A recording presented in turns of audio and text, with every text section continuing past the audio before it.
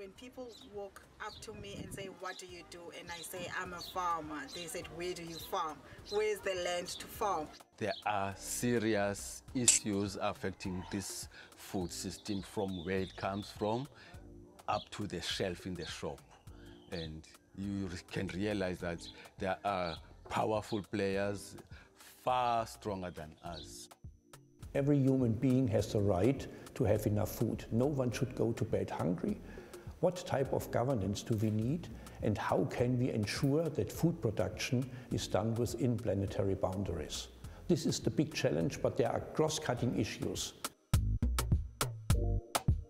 I think the direction of African agriculture should go to agroecology because agroecology is not a tinkering agenda, it's a transformative agenda. And at the center of agroecology is also a right to food. Currently, only 2.7 percentage of the support for agriculture from the European Union goes to agroecology. Euh, L'Europe facilite l'exportation vers l'Afrique de ses productions agricoles euh, lourdement subventionnées et cela euh, disqualifie ou réduit l'accès au marché des petits paysans africains qui ont de petites exploitations et qui ne peuvent pas compétir. our small scale farming system aspiration should not be what we witness in Europe. And then because we know that the Europeans are locked in a system they cannot get out. We are not in that system. And then we do not want to move toward that system.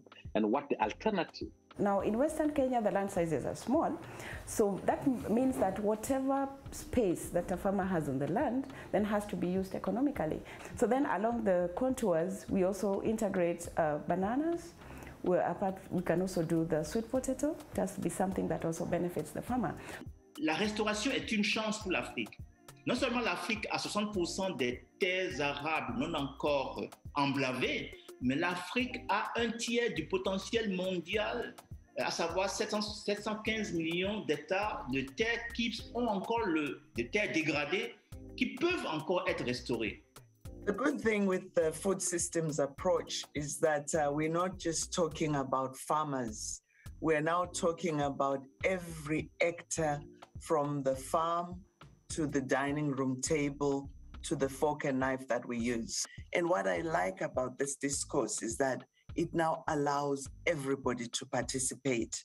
And the best game for us to play is the policy development game. We need land to grow our food, we need land to protect biodiversity, and we need land to mitigate against and adapt to climate change. But how can we ensure that those who do the bulk of these actions also have a fair share to these resources? Finding responses to these questions requires an open dialogue. It further requires that we manage to establish new alliances because still too many continue to protect the status quo. And together, this is our invitation to this dialogue series.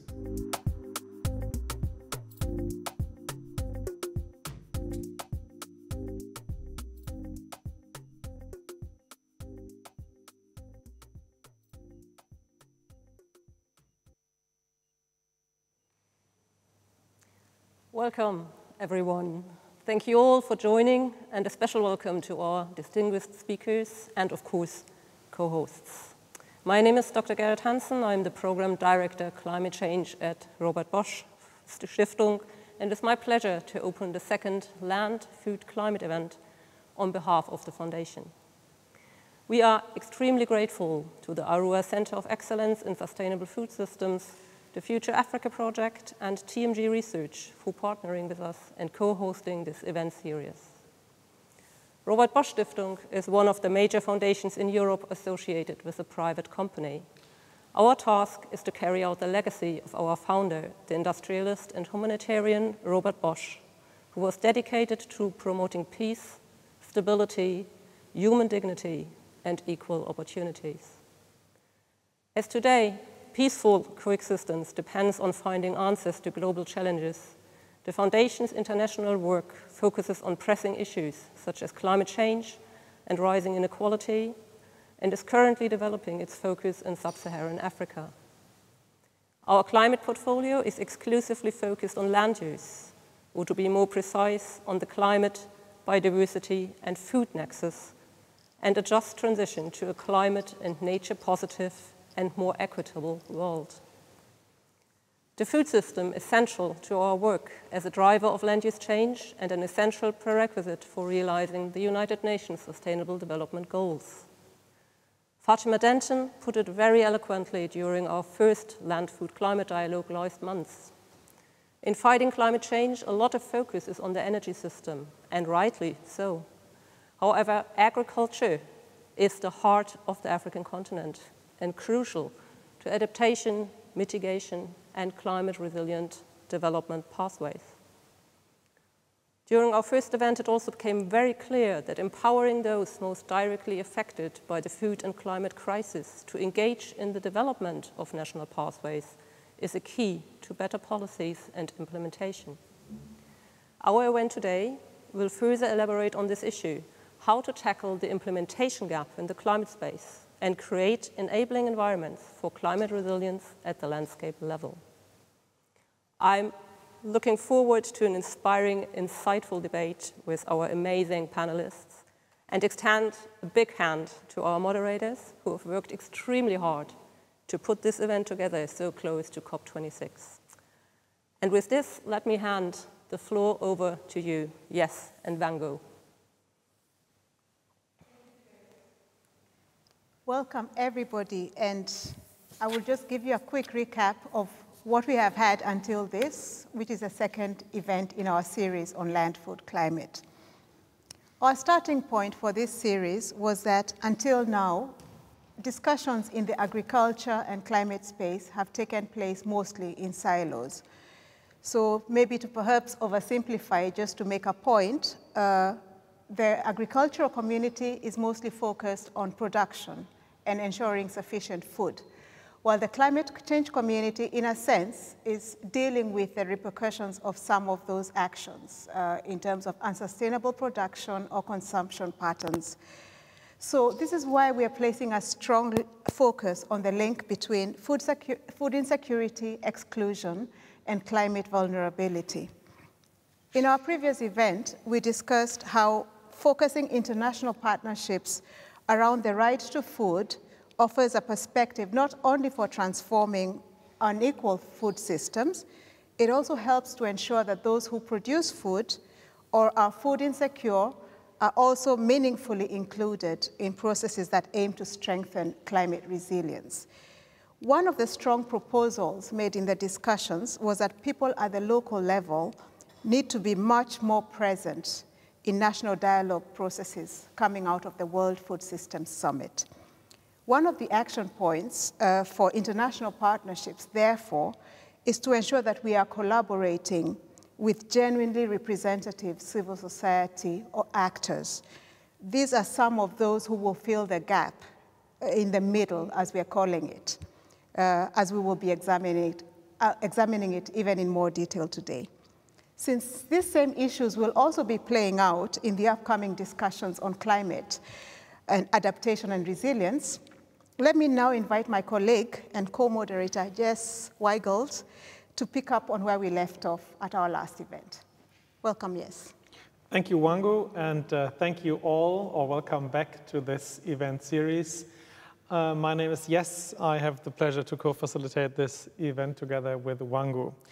Now, uh, international colleagues keep telling us Germans can't get it short, and so we have given us the title, Tackling the Climate Implementation Gap, Our Rights the Missing Middle. So uh, given remarks by colleagues, I think I'll expand on the elements of this title a little to provide an overview of what it is that we are up to today. Now, climate implementation gap. Today we will focus more on the adaptation side and less on the mitigation side. As you are well aware, um, only 10% of global climate financing is dedicated to this crucial topic of climate adaptation, and we really want, through this event series, emphasize the importance of climate change adaptation. While we focus on adaptation, this should not um, be a lack of emphasis or underemphasize the need for Europe and other industrialized continents, so to say, uh, to drastically cut their emissions. If countries in adaptation who face adaptation needs, to a lesser extent Europe does as well, if they are to stand a chance to truly adapt to climate change, we need to reduce the pace of climate change and we need to reduce the impact that the climate crisis has. That is, Europe has to drastically cut its emissions. And we want to put it um, sorry for the technical hiccup. And we want to put this squarely in front of the bracket and focus on adaptation afterwards. Now, having said this, for us, the climate implementation gap is the gap that exists between international and national commitments towards climate change adaptation and actual adaptation progress on the ground. The term missing middle, Wangu has already alluded to. For us, the missing middle, and I apologize for, for using rather nerdy, wonky language, is the, the governance gap that exists between national level initiatives and the local level capacities to actually implement or to scale up. More often than not, national actors do not have sufficient capacities to actually implement their activities at the, at the local level and vice versa. Local organizations often do not find an enabling environment so that they can scale up their activities. Now this gap, this missing middle, this governance gap, uh, we, would, uh, we will be addressing in, this in the very first panel. Um, and we are advancing, as in the previous discussion, the question to what extent is a rights-based agenda the most suitable agenda to really move uh, this ahead. Now, before I introduce uh, the first fascinating panel, our amazing speakers, I would like to invite my colleague Bruno to join us here on stage. Bruno will talk us through the technical details for you guys who participate online to make your voice being heard. Bruno. Hi, everyone. Uh, my name is Bruno, and I'm just here to tell you a few technical details about the discussion. So first of all, now I'm looking at the right camera. so um, first of all, today we have French, Francophone and Anglophone participants, so we therefore have simultaneous French and English interpretation. Um, in order to choose your audio channel, you can locate the interpretation tab at the bottom bar and select your audio channel. This way you can really follow all of the discussion in the language you, you desire. Secondly, uh, this panel, this, this webinar is meant to be interactive, so we do have a Q&A section for participants to interact with the moderators as well as the panelists. You can locate the Q&A section also on the bottom bar and uh, input your questions in there. The questions will be selected and transferred to our wonderful hosts, who will then direct the questions to the panelists. If there are any comments or technical issues, you can write them in the chat, which is also located at the bottom bar, and we'll try to solve the issue as soon as possible. So in a nutshell, questions in the Q&A section, any comments, technical issues in the chat. And on that note, I wish you a great and insightful discussion. Thank you, Bruno. And uh, if you want to applaud afterwards, the one of the persons to make this work technically, Bruno, is the one to be thanked for. Now, for our first panel, we have uh, three questions that we will uh, dis be discussing. First is to build on our introductions to discuss what actually constitutes this middle, missing middle, what constitutes this governance gap. That's the first question. So the second question then is, what are cautionary tales of success, as we have labeled them? What are promising avenues to close that gap? And then the third question that we would like to address, what type of alliances or partnerships, as you could have seen in the video, are necessary to pursue these avenues? And with these questions, I thank you again for attending and I hand back over to Wangu. Thank you once again, and we will jump right into the first panel, which will be discussing how to understand this missing middle. And our first speaker is Professor Cheikh Mbow from the Future Africa, Director of Future Africa at the University of Pretoria. He's going to be looking at how we characterize this missing middle, what are some trends, especially on the African continent, and what are maybe some gaps that international partnerships should be stepping in to address. So welcome, Professor Mbow. Thank you so much, Wangu. Um, thank you. Yes, uh, colleagues, I have recognized some names, uh, Youba Sokona, Susan Chomba, uh, all-time ICRAF colleagues. I'm very pleased to be uh, on your platform today just to share some framing information about food system and how it trickle down to the African context or what are the main requirements that we should consider in, in just working on the implementation gap. But because before I get to my slides, I just want to commend the choice of the organization today to focus on the implementation gap. There is a lot of information on how to improve food systems. There is a lot of information on different practice in different contexts. The, regi the regional divide on food system has been, you know, reported in IPCC in different, uh, different uh, fora. The main issue we are having here, which is absolutely crucial, is how we go from knowledge to action. How do we bridge the implementation gap? And there are many ways you can attack, you can, you can, you can develop these ideas of implementation gap. And I think starting from what we know and how we deploy innovation is something very, very central. In the, on the very first slides here, I would like to bring, if, if the technician can put it on, I would like to bring, um, yeah, just go to the next slide. I would like to bring a framing that we use on the special report on climate change and, and food system that I had the honor to lead with uh, a colleague from the United States, Cynthia Rosenzweig, on, on, on sustainable food systems. Um, the central part of this graphic is about food system, previous one. The central part of this, of this graphic shows what the food system entails. And it's not only about production, as you rightly say, Wangu, in your introduction, and Jes, but it's all about the supply and the demand of food. And in between, a huge area where we can improve our implementation is how to handle food loss and food, food waste, particularly in Africa, because of the equipment, the type of equipment in place, the type of agriculture we have, the smallholder farmers practice that is, you know, the dominant model food loss become a serious issue. By just resolving the issues of food loss in Africa, a great deal of that yield gap we are talking about can be resolved without additional demand on land, without additional demand on ecosystem services, on water and energy and the like.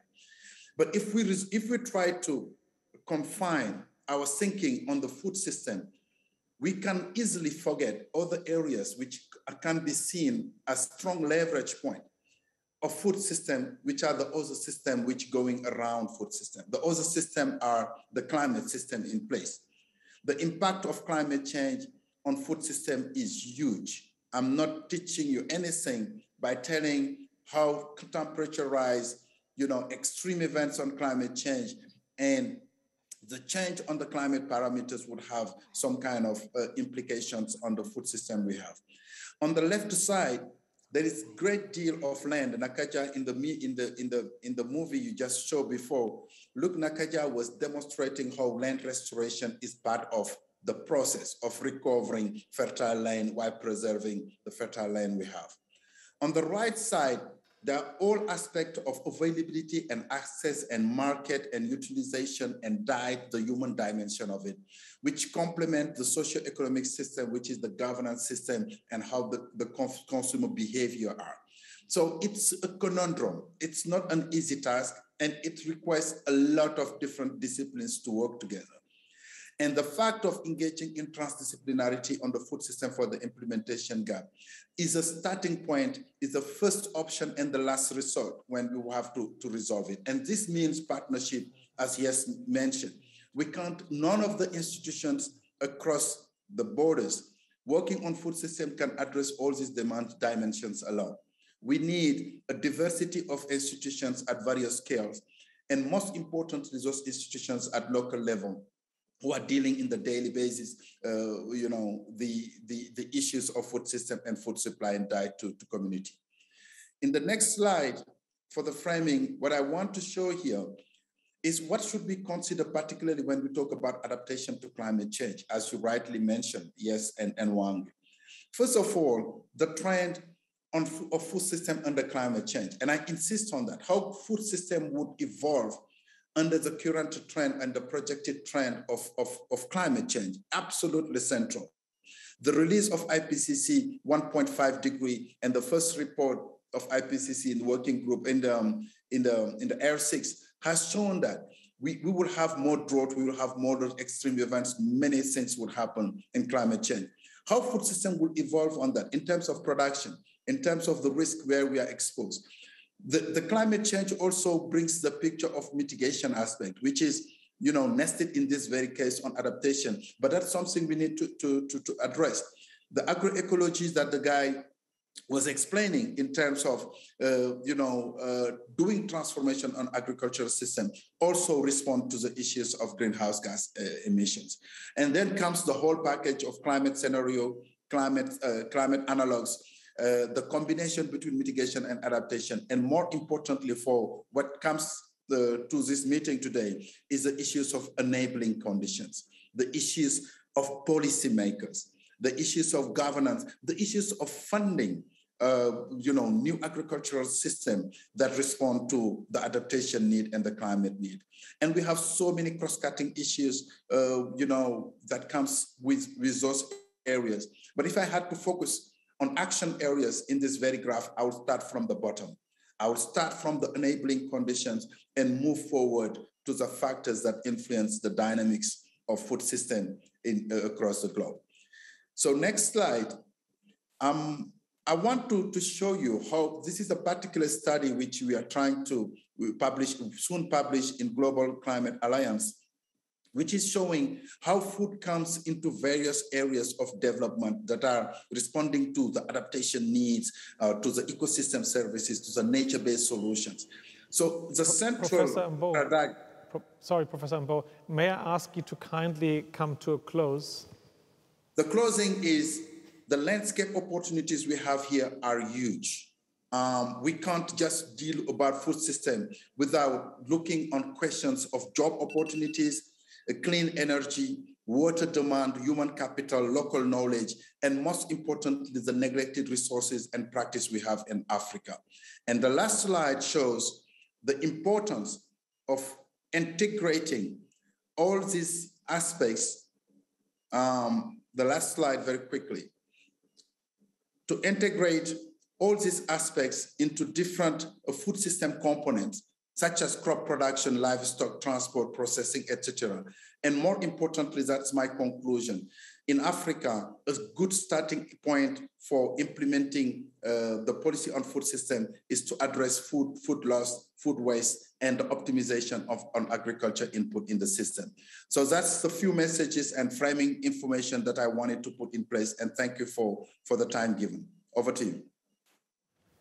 Thank you, Professor Mbow, and please stay on the line. We will be inviting a panel discussion afterwards. But thank you very much, really, for framing our discussion so aptly um, and really putting the food systems perspective left, left, right, and center of the debates that we are now having.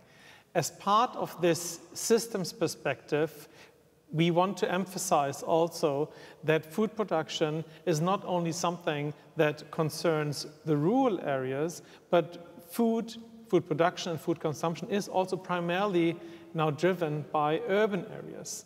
And that's why I'm very grateful to be able to announce our second speaker. Uh, and Mimi, I hope you forgive me if I call you by your nickname. So Mimi Nyama, who from Food Agency Cape Town, who's with us today. And Mimi, without further ado, I'd like to give you the floor and a warm welcome to this panel. Thank you so much.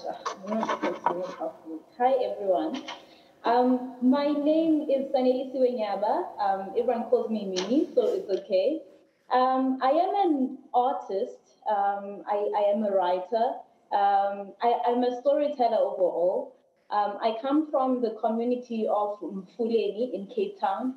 Um, it definitely is not the Cape Town that when you Google Cape Town, you know, um, the, the mountain comes up, all these beautiful sites come up. Um, but the community that I represent is definitely on the margins of Cape Town.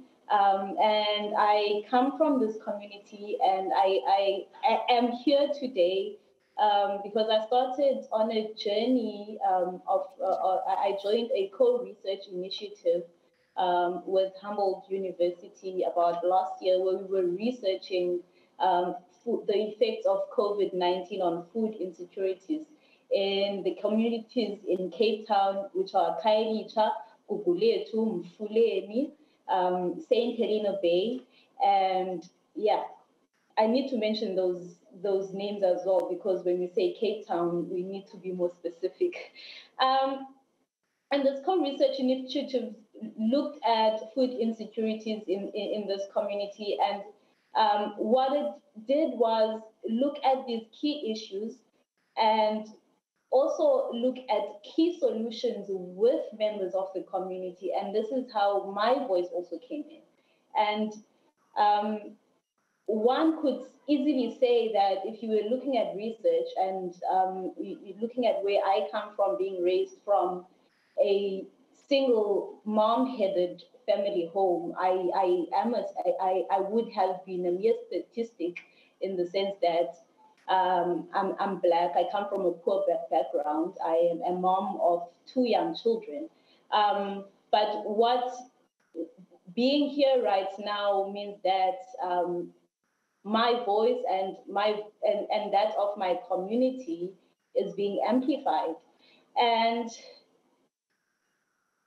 um, when it comes to food security, there's also the question of nutrition and what food people can afford and the knowledge of the food that people can afford um, and whether or not they have a choice in accessing nutritious food, in accessing, um, when we're thinking about sustainability, in being able to access um, food that is sustainable. So there's a question of being able to access these, and if these communities um, when they do get this, this, these opportunities to take part in solutions um, of, of food insecurities, can they exercise the freedom and the agency then to be able to say, no, I want the healthier option because it's more expensive.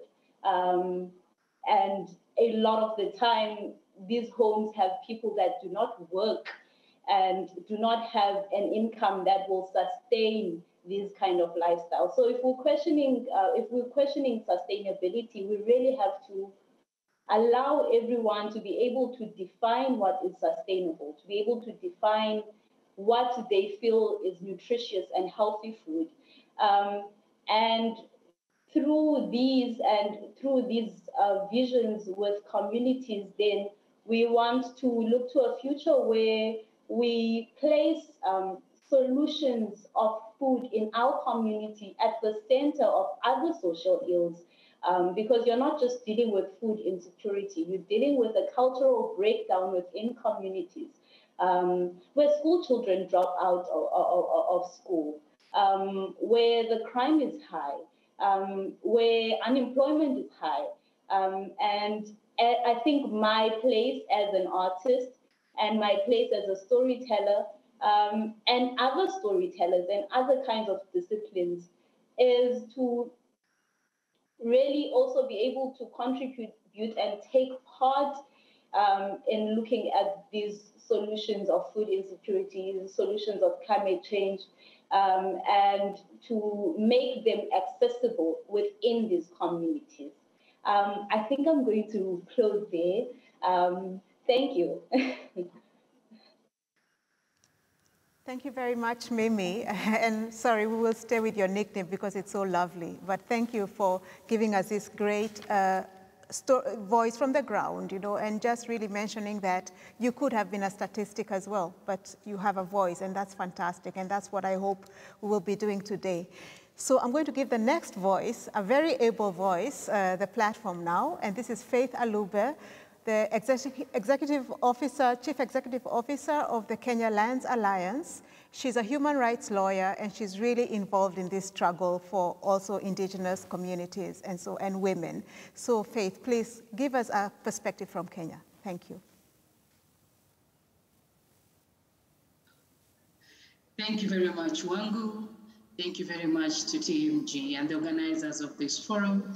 Indeed, it's, it's, it's a great honor to be in this space.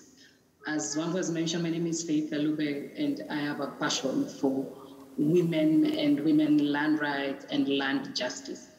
So today I'm here to talk about um, indigenous women and why they are very vulnerable to the issue of climate change.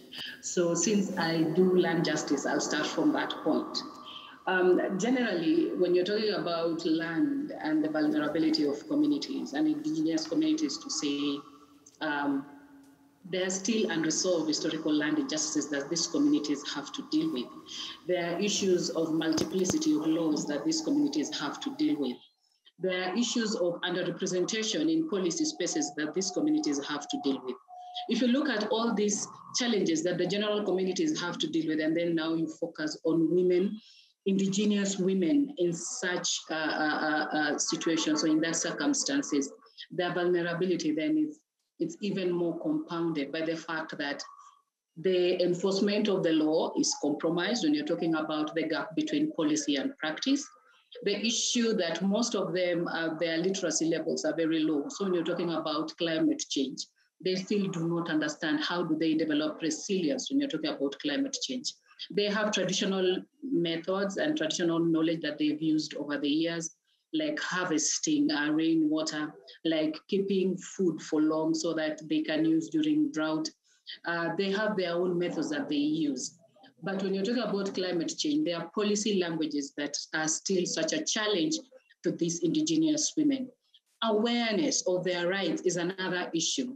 Thus, there are some officers or policymakers that take advantage of that and impart uh, decisions or they, they, impose decisions. That is the word. They impose decisions on, on, on, on, on these women because you get that their, their knowledge is limited their organization organizing they don't organize so well in order to be able to confront some of the issues that climate change has made them go through the change of weather patterns how they can be able to to deal and, and, and take care of their, their, their roles, women roles in in, in, in a society. The issue of patriarchy and, and retrogressive culture is one of the things that really affects these women because we know most of them um, find identity in their cultural uh, um, in their cultural settings, they find validation in what they do as a community which works, but at times it works against them because the patriarchal and traditional way of dealing normally denies them the right of being in spaces where uh, they can be represented and their voices are amplified. And then there, the, the issue of, of not being able to connect the dots is also another driver of their vulnerability. You're talking about climate change. Like, for instance, most of these policies, they do not understand, they are not involved. Uh, most of them, I, I, I, don't think their voices are heard. And if they are heard, they're in the minority rather than the majority. You're talking about policy change and systems change. There are so many things we can do. Uh, when you talk about training and capacity building, before even go training and capacity building of these women, there's the issue of resource thin resources. Um, who trains them? Who who, who cares um, if they know they don't know? This this um, this conversation that is so macro, macro level, they do not understand it in their space, in their own language. So we're talking about indigenous women developing resilience. Yes, they have traditional knowledge, and yes, they might transfer it to the next generation, but there are some things that affect them, and the discussion, the discourse is too high for them. The issue of knowledge and capacity is something that we need to invest more on. Because when you're talking about them being change agents, change agents have to be knowledge built in order to be able to be effective and confront some of the challenges that they are facing like the issue of patriarchy, like the pandemic that is ongoing, the threat to their economy and livelihoods, compromised livelihoods. They were so used to a certain way of life that climate change has threatened. There is need to help these women adapt. Uh, when you're looking about drivers, there is no gender disaggregated data. So when policymakers are making decisions, what informs them? Do they think that these women are homogeneous? Do they think that one community, what works in one context, will be able to work in the other context? And as we talk about context, do they appreciate that some of these women cannot engage without being able to understand what the discussion is about in their own language, in their own spaces? And as I finalize, or I can continue, I'm not seeing a timer. Uh, so as we talk about drivers of change, it's important to know also tenure security issues for these women come up. In my country, 70% of our lands are communally held lands. Most of these indigenous women live in these lands. These lands, for the longest time, have generationally excluded women from decision-making spaces. So when you're talking about climate change, then you're talking about tenure security, then you're talking about resilience. These women have an idea that this is what we do because it's our role as women in this community, but they do not have that capacity to engage in that space without policy uh, change that is ongoing right now. But we are wondering, even if policy change is going on right now, in the far-flung areas, who informs them? If every other document is in English and, and the local Kiswahili, and some of these women never went to school, who cares to go to these far-flung areas and tell these women, you know what, these are your rights under policy. So such policies are good on paper, but they perpetuate the inequality that these women have been facing for the longest time. As I conclude, there's the issue of the intergenerational conversations that are very important in such contexts. Most of these women have traditional knowledge on how uh, to, to, to, to develop resilience during droughts and how to pass the knowledge. Our constitution even protects the right uh, of indigenous communities to protect their biodiversity. But how then can we ensure that the younger generation is involved enough to also be able to learn this traditional uh, knowledge that the older women have? There's need for more resources. And in this, in this term, I'm using resources in terms of human capacity, knowledge, uh, simplified discussions that these women can be able to engage in, in their own spaces, in their own way. Lastly, before I forget, we develop policies in, in, in, in, in these huge capital cities in the world. But who cares about the woman in Turkana? How does she see these policies? Because she's the primary right holder in most of these conversations. But who talks on her behalf? When you're talking about formalizing laws and formalizing their land tenure and telling them, you know, as women, you should be involved in decision making in their world. They're doing what they can in their world. That's what they do. So we should bring down the conversation to be able to tailor make it to those contexts. Thank you very much. Faith, thank you very much. Uh, the passion speaks through you. So thank you very much for these very um, important and, and really pertinent points to the debate. And I know that when Kumi takes the, the floor later on, a lot of what you've said regarding the question not only of language, but also of forms of expression to really generate an exclusive inclusive struggle for change, this is something that, that Kumi will also speak to later on. So these points are all well taken. I now have the, the pleasure to move to the more institutional perspective by uh, inviting Corinna Enders uh, to this debate. Corinna is the Chief Executive Officer of ZUG. Those who are less familiar with German acronyms, it is um, agency in Germany that is responsible for the International Climate Initiative, one of um, the key initiatives globally to finance uh, climate adaptation. Corinna, thank you very much for freeing up your busy calendar, and thank you very much for being with us. I'll hand over to you to speak to how IKI bridges the missing middle. Thank you for being with us.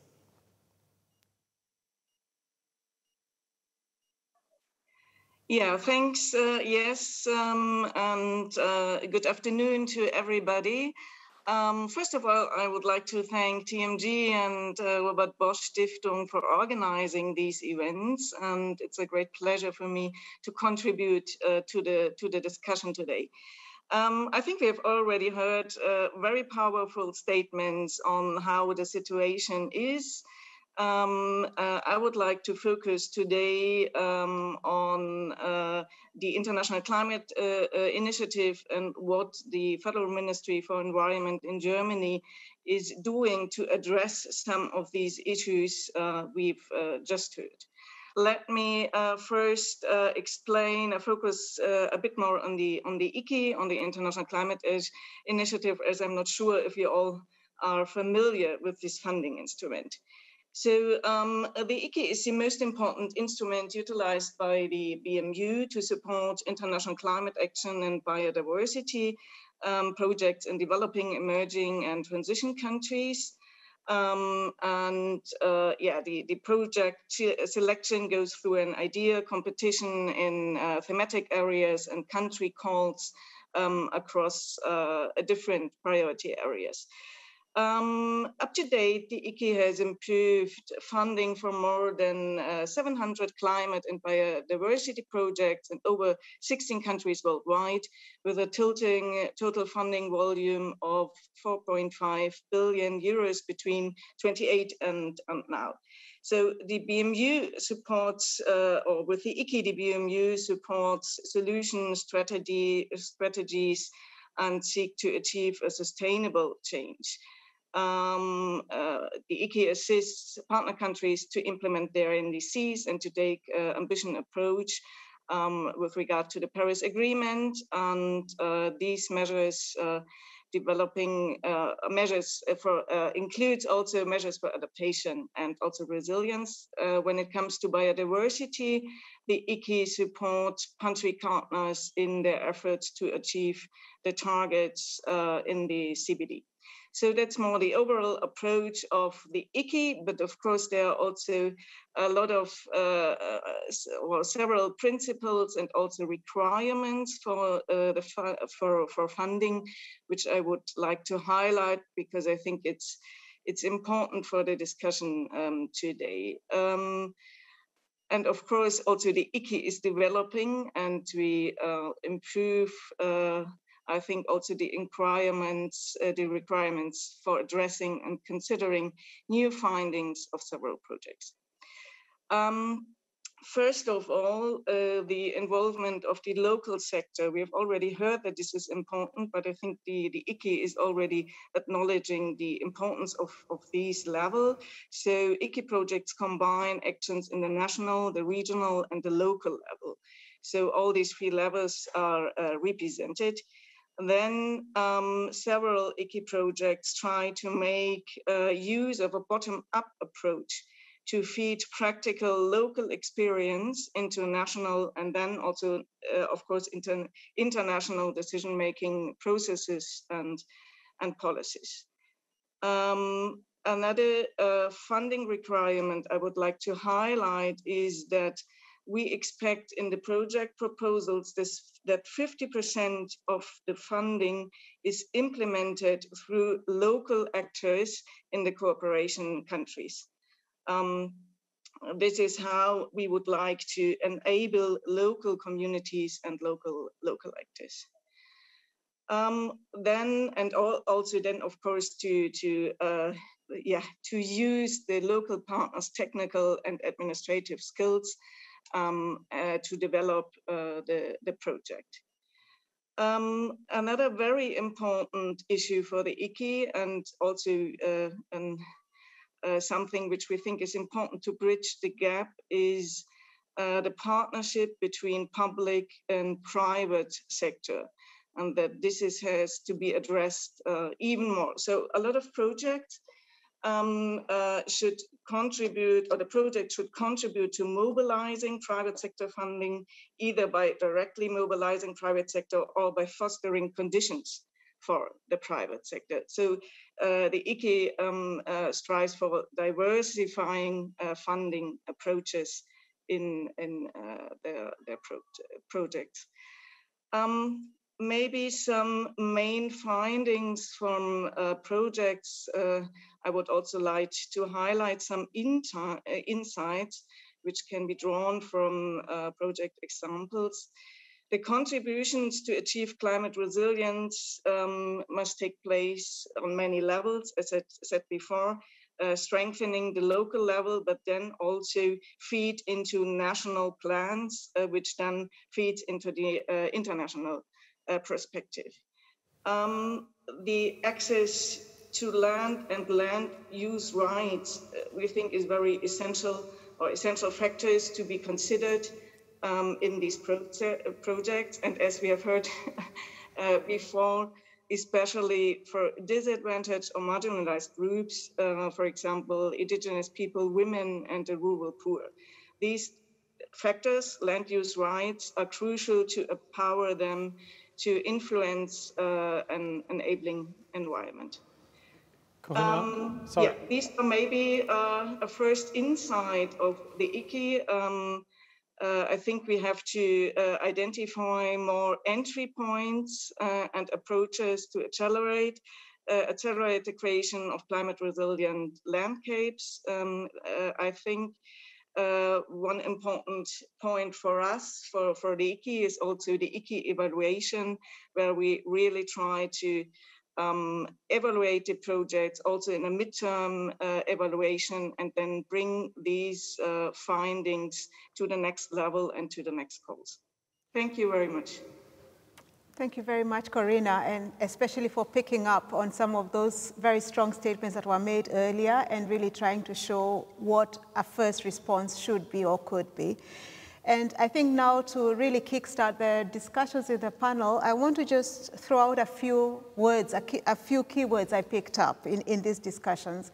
I picked up the notion of being a statistic, almost an accidental uh, voice in a sense. You know, uh, Mimi told us, you know, like she could have been one of the statistics, you know, in terms of just where she comes from, you know, what she represents in terms of gender, and so on. And so I think one of the things that's really coming out very strongly is how do we make sure that we are not just accidental statistics, you know, either in terms of they find themselves with a voice or without a voice. So how can we be more intentional in how we involve people and bring their voices into the discussions? I think another strong voice uh, issue that came up was the fact that food, even in climate discussions, but food is very much at the heart of community and integration. And so in a sense, food insecurity then means the opposite of that. It's almost, it's a sign of breaking, you know, of, of just social capital getting lost, and that food is at the center of that. So how do we bring in these perspectives into a discussion on climate resilience? Then we heard about the importance of connecting the dots, about linking these different spaces, you know, levels, and so on. So who does that? Who, who is the one that's going to be the intermediary between all these levels? So a lot of issues for us to pick up on. And I think maybe what I will do, since it's a virtual session rather than us sitting at the table and making eye contact directly, maybe I will just ask that we go in the same order that we started and maybe just give you a quick response. Know, how do we bridge this missing middle from just some of the perspectives that came out? Professor Mbow, if you could just kick us off. Yeah, uh, thank you so much. And thank you, colleagues, for very refreshing ideas. Uh, to respond to your question and to keep it short for, for my colleagues to come in, I think there is two things that we need to be mindful. These are two very important things. One is targeting there is no genuine solutions. There is no food systems that can apply everywhere. At least we can consider there are several food systems across the globes. Every single area of geography with different culture, different ecologies, and, and, and, and aspirations, which is absolutely central. I can get it from Faith presentation and from uh, Mrs. Nyaba presentation. Food is the most cultural thing. There's a fundamental difference between eating and feeding yourself. The fact of, of getting food is a cultural thing. We all know it. When we travel abroad, when you go to Cape Town, your city, or I was just in France, I was looking for African restaurant. Uh, you know, an American will look for an American restaurant. We all have some kind of cultural relationship on what we eat. It's the way we dress, the way we eat are one of the most cultural things. As a Senegalese, I'm well in place to tell you that if there is a city with no thieboudienne, I would likely starve during my stay. So this is absolutely fundamental. And targeting will connect you with the aspiration, but it's beyond that. Targeting will help you respond to the, ge the geographical requirement of the food system you produce. I'm writing for the African Union and a, a, kind of book chapter on, on food systems in Africa. And I realized that the highland agriculture, the, the, the Congo Basin agriculture, the semi-arid agriculture, the riverside agriculture, there's so many different systems that are in place that needs specific solutions. The second prong, this is targeting. The second prong is partnership. We all mentioned. IKI cannot just rise if there is no strong partnership between different people. Adaptation is not just one, one entry point. There are several entry points. And the issue of co-design I mentioned earlier requires strong partnership. And partnership is not just playing with big institutions. We forget sometimes when we look for partners to look for the local NGOs, the local community associations, the few influencers, the champions at the village who can help extend our influence on that village to improve food system. Often they are taken off the loop and we think partnership is go to United Nations institutions, big institutions such as mine, but the action and the impact we need to have require partnership at local level. Over to you. Thank you very much. Uh, Mimi, please.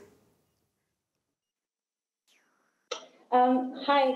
Um, so I, I, I, think the the really what um, I, I will continue from this um, from this perspective of of of, of, of, of seeing myself sort of, especially being involved in this um, in, in this co-research, um, is um, we also need to find ways to so to to to break down and mine the information that is being generated in order to be able to um, to, to, to, to, to engage with it within communities. Um, so there's definitely also the issue of language. Um, I think the issue of representing knowledge, um, it doesn't necessarily just have to come in writing, it can come in, in photographic um, representation, it can, it can come in podcasts. Um, and I, I, I, really also love um, the, the touching on, um, on, on culture and just looking at food as, as, as being so central um, to, to, to our cultural practices. Um, I know that if you go to an event and you don't eat, you don't, you're, you are not fed, or you are fed late, or you are fed too little, it really changes the perception of how you experience um, um, that particular event. Um, yeah, I think uh, that that's the the one thing is is really trying to merge, um, for example, research um, and and and art and um, empowering sort of the different voices uh, within community, especially the knowledge systems um, and knowledge practices in communities, so that we can really, uh, when we start to imagine a future, uh, you know, when we start to engage um, with, people through music, um, through um, just you that reimagination or exercising sort of that um, th- that knowledge or discussing a topic really opens up more room to be able to um, think about the future differently. I think we really need to to to do that. Thank you so much. Very much, uh, Faith. Please continue. Thank you very much, uh, Wangu. Um, in addition to what my colleagues have said, we have to look at um, climate change and indigenous women and the whole discussion from an intersectionality lens um, it cannot be it cannot stand alone. There are other interlinking rights that have to be to be looked at as well. When you're talking about food systems there's a tenure security question. There's the availability of of information resourcing. How can all these rights be interlinked to a, um, a degree or to a level where the right holder actually understands the discussion and, and becomes a driver of change and then the issue of technology. Uh, right now, that is where the world is going to. But some of these people are so disadvantaged. You're talking about uh, uh, technology. Um, my colleague even mentioned the, the PPP. Uh, some of the PPPs actually are perpetrators of impunity. And I dare say that because they take advantage of the lack of knowledge and the, and, and, and, and, and the lack of clarity in some of the policies. Uh, to, to perpetuate impunity in some, in some circumstances. So as we talk about uh, uh, uh, rights, because these are justice questions from where I sit, as we talk about uh, how then do we ensure that the right holders are not um, inconvenienced, um, that, that the discussion and the discourse, the way we understand it, causes them harm. We have to move together. The, the, the duty bearers and the right holders have to move together. That means having a conversation that every other stakeholder understands and can act on it. So that when we are developing these these big documents we should also remember that they have to be evidence based in order for the right holder to appreciate it. And as i conclude the issue of data um, we cannot be winging decision making. It has to be based on something. When, when, when you talk about this number of women, we've increased the number of indigenous women who, for instance, have tenure security in certain contexts. Based on what? How do we measure the milestones? And how we do how do we make these women appreciate such discussions from the milestones that are measurable? Thank you very much, Wangu. We don't want to ask you to respond, but please, you know, just continue the reflection, please. Yeah, thank you, thank you very much. Uh, let me first come to to the issue of food. I think we should also mention that um, is it uh, what is the system of agriculture we have at the moment, and uh, because I think we need a sustainable agriculture, which takes into account also the ecosystem and the the the, the uh, biodiversity uh, we have at the moment. So this is very important and linked uh, to to the feed, food issue. Um, then uh, maybe a, a, few words on, on partnerships. Of course, we need international partnerships, but I fully agree we need um, also the partnerships then uh, up to, to, to, the, to the local level. And I mean, I, uh, uh you mentioned before also uh, not only the culture, also the language. And I mean, I used to live in Kenya. I know that a Turkana woman doesn't understand English. So it is uh, this is something we have to take into account the specific of the countries and the specifics of the of the regional needs uh, when it comes work, uh, when it comes down to to to, to the local uh, level and the, the, the main thing is then how we um, how can we come to these voices and how can we listen to these voices in their own language and to bring them uh, then to the to the regional level and then up to the national level and then of course uh, back to to the international level. That uh, that i think is key uh, for um, the success of uh, of all these projects uh, we yeah we would like to support and and fund Thank you. Uh, thank you. Before I hand over to uh, our dear colleague Alexander, I think I would, would uh, ask the panel to please respond briefly to a question that, that arose while listening to you. In the beginning, we had set out the question, how do we address this implementation gap? How do we create an enabling environment? How do we actually overcome uh, this missing middle that we have described? And I think you've all spoken to various extent uh, to the question of how to actually empower agency. I think this is a, a term that, that Mimi had coined. And I think I'd like to build on that. From what you've just heard, how, what I would be, from your point of view, what are examples where strengthening agency, empowering agency in your professional life so far had actually worked? What are these, these cautionary tales of optimism that you would like to share uh, for strengthening uh, agency? And I'll think I'll stick to the same order. Professor Mbow, please uh, go first. Uh, thank you. Thank you. Yes. Um, thank you. This is a very difficult question. Yes, you know it, and it's it's something which is not specific to the continent of Africa. It's everywhere. There is two hunch which I want to share with you. First of all, most of the solutions we are talking about to improve the implementation are not in any policies in our governments. There is no sustainable agriculture ministry. There is no agroforestry ministry. There is no sustainable intensification ministry. There is no agroecological ministry. So if we don't have a specific dedicated institutions to move this agenda forward, how can we derive the level of investment in that countries to create the set of transformation we want? In other words, what I'm saying is we will keep using those concepts and we will keep relying on foreign aid to invest into those areas. But as long as the national countries does not put those things in the core of their business and policies, the set of tra transformation will not happen. We will be doing tinkering, but we will not be working on transformation. The second one prong is about opportunities.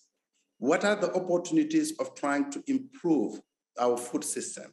And one opportunity in Africa is to go beyond the, the set of five crops that are in all the food security reports maize, wheat, um, we know it, those five things, sorghum. But Africa has over 100 species which yield fruits, grains, oil, food nutritious product. That is now things you see in Europe. Um, the good drink on baobab fruits, you find it in Germany. I was in Nuremberg in a PhD defense, they serve me baobab uh, fresh juice. You go in the US, uh, so people will, will tell you, uh, you know, uh, fonio as a cereal with no gluten, extremely good for health. Those neglected plants are developed in, in areas where the practice to develop them is neglected themselves. So the opportunity to create transformation is to look at this neglection. What is neglected? What is the species which are neglected? What are the practices that we have been forgotten? And hold them back in the system and invest heavily on those processes. There's a great deal of solutions that we are revisiting now in Africa, which have been our ancestors' practice.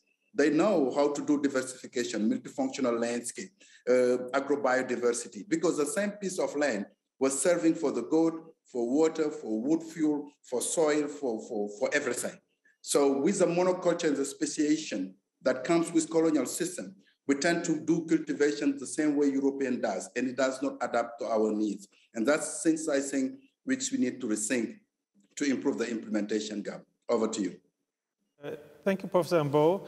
So the policies as well as the opportunities slash technologies that are both culturally rooted as well as potentially well better adapted to, to, to climate change. Um, Mimi, policies, opportunities, technologies, what is your contribution to the discussion on, on strengthening agency? Um, you know, um, I I am my mo- my mother is a is a farmer, um, and um, the before she she got into farming, um, I I mean we had we would find different ways to sort of um, find to to find food, and the one thing that um, the one thing that really empowered her, which in turn empowered me is that ability to sort of um, grow your own food. And this has sort of led me to, to, to find myself in this space right now. Um, and I think when we really, uh, when I when I think about agency, I'm, I'm, really going to try to, to sort of try and sort of personalize this because it's really the only way I can read it right now. Um, being a part of the, this um, sort of this co-research um, has allowed me, and I think also my, my background in, in, in, in, studying social sciences, and as much as I come from um, a poor background and I come from a, I was at a disadvantage, um, and also at some point I was unemployed for for I think three three or four years after I graduated. I was able to see myself as an as an individual who was struggling with this, but I was also able to really see myself within the collective of. I was not necessarily the only one that was struggling. Um, so it, it, it's not really a me issue, but rather a collective issue. And then now that um, I'm, I'm in this space, um, and I, I am learning these new terms and I'm learning to talk about policies. Um, the, the, the one, and I'm learning to talk about, uh, about policies is that um, through our podcasts um, and, and through um, community dialogues, um, we are able to then even come to question policies or things and, and policy is not something that we necessarily talk about every day or, or we have access to or we have an influence over. Um, and, and I think the more we do, the more we do talk about it, and the more we do um, engage with with this uh, with these topics, is really the more we can then become agents from the ground, from the grassroots. from we can become agents from the grassroots and sort of influence um, the the food system. Yeah. Thank you. Thank you, Mimi. I would suppose, Faith, if I turn to you, that the whole question of identity, collective identity, and what is it that we consider to be possible as an individual is probably something that, that would speak to you when it's about creating agency. Thank you very much. Yes, there's need for uh, the right holders to own their struggle, and and as we understand, most of the uh, of the of the people that actually right holders on land, land is a form of identity, a cultural uh, um, um, a cultural asset that that is the only intergenerational gift that uh, people in my country can hand over to the next generation. So when you're talking about policies, we should focus on the gender disparities in most of these communities. We should, as, as, as people who come in to support to support uh, uh, uh, uh these communities, we should not ignore the fact that most of these uh, communities might not understand some of that language we use but we should, should not cause more harm. As a lawyer, I just like to say that the law is good, policies are good, but multiplicity of laws become a barrier when a community has to, to understand 10 pieces of legislation to claim one entitlement. We have to find a way to ensure that the policies are good, but they should not become a bottleneck to communities to access justice. And I'll give an example. An indigenous community in Kenya, they have to be aware of their rights over their land and territories from the colonial legacy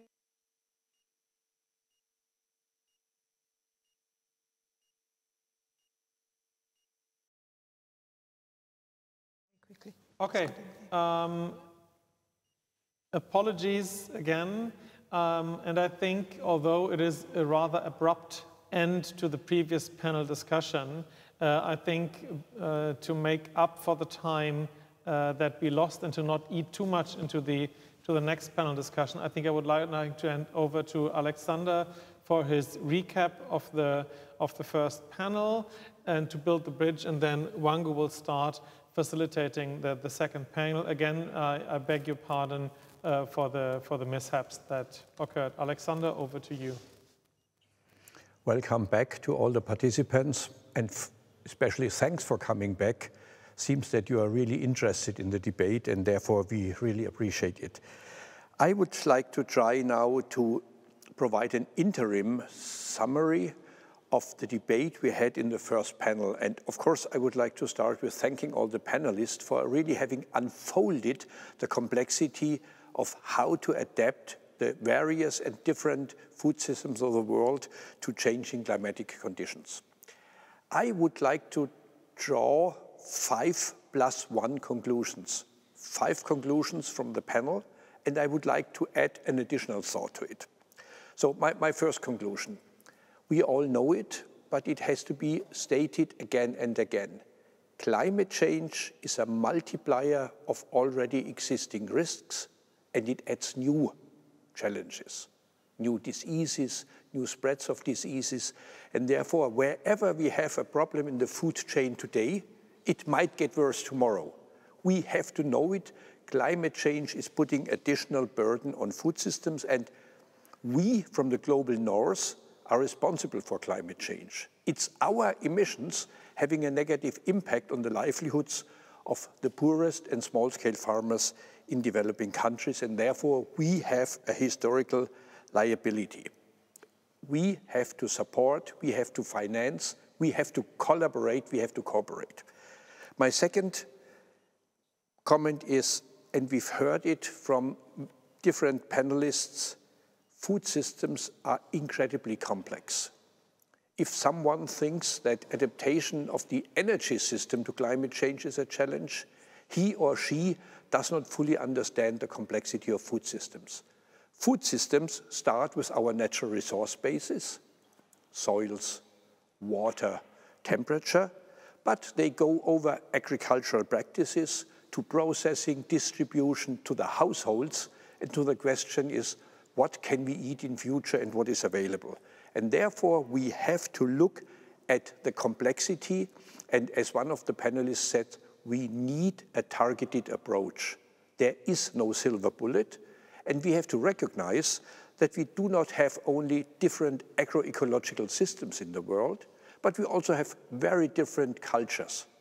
And both agroecological systems and the different cultures, they are an asset. They create the wealth of our food systems.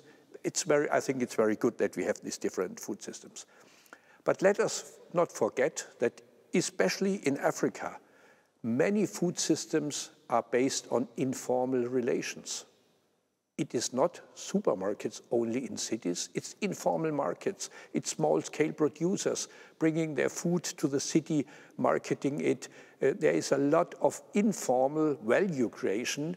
And let us not forget that these informal vendors, these informal farmers, they also need support for adaptation. Let us not look at the official uh, channels only. And therefore, my third comment is when we are talking about the implementation gap, we are talking about institutions, capacity building, funding, we are talking about technology, appropriate research. These all are parts of a system that has to support change. Because what the climate crisis is going to do is it will change the whole food system, as I try to explain.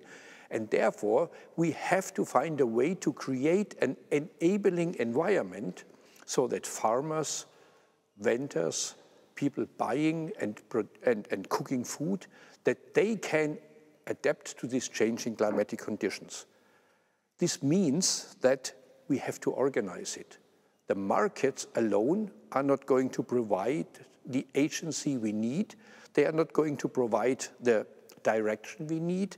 And therefore, it is very clear that adaptation to changing climatic conditions, they have to achieve multiple benefits in agriculture, in the food chain, and therefore we have to look at the whole complexity. For me, it was really important to see that panelists were referring to the question of land tenure.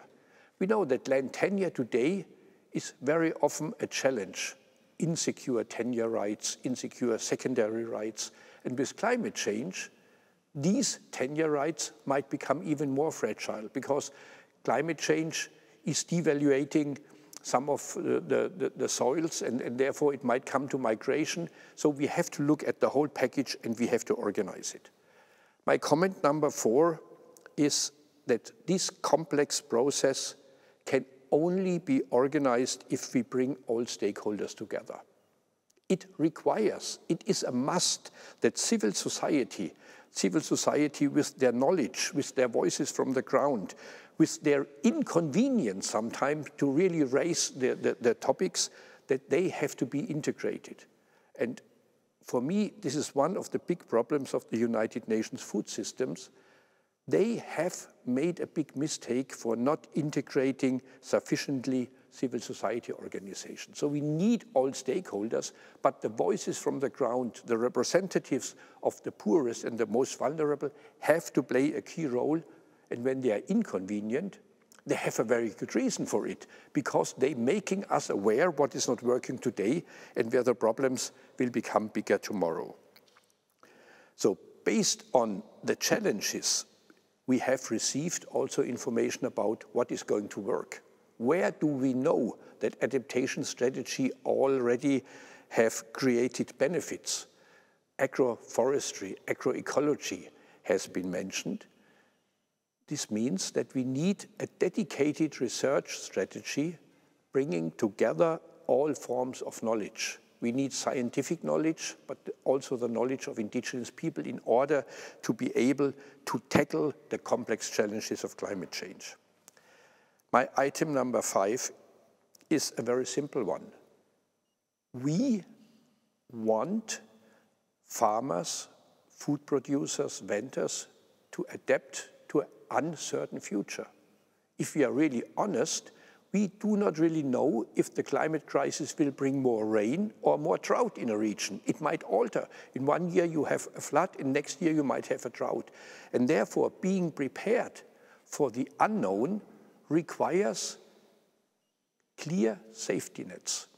And the right to food, which has been adopted several decades ago and where all member countries of the United Nations have agreed on how to implement it, has to serve as a safeguard so that farmers and informal renters and poor people in cities can rely that the uncertainty they are facing and that the challenges they are working on and that the new topics they have to tackle, that they will have a social safeguard system in place which has been internationally agreed.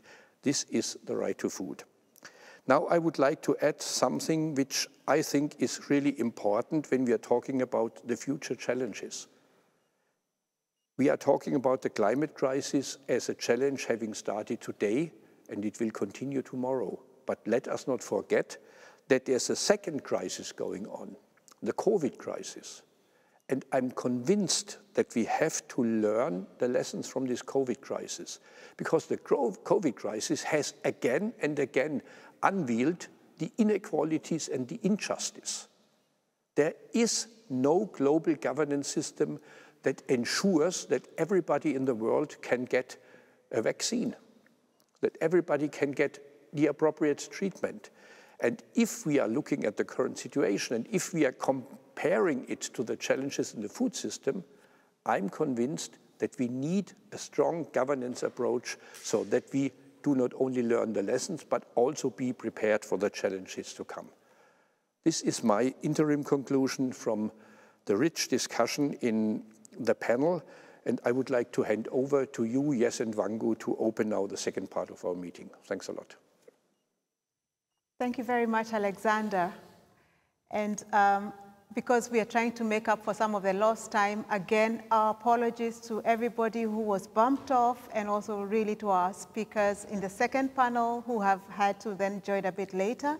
But we hope you're all there and we're really looking forward to kickstarting again our very rich discussion.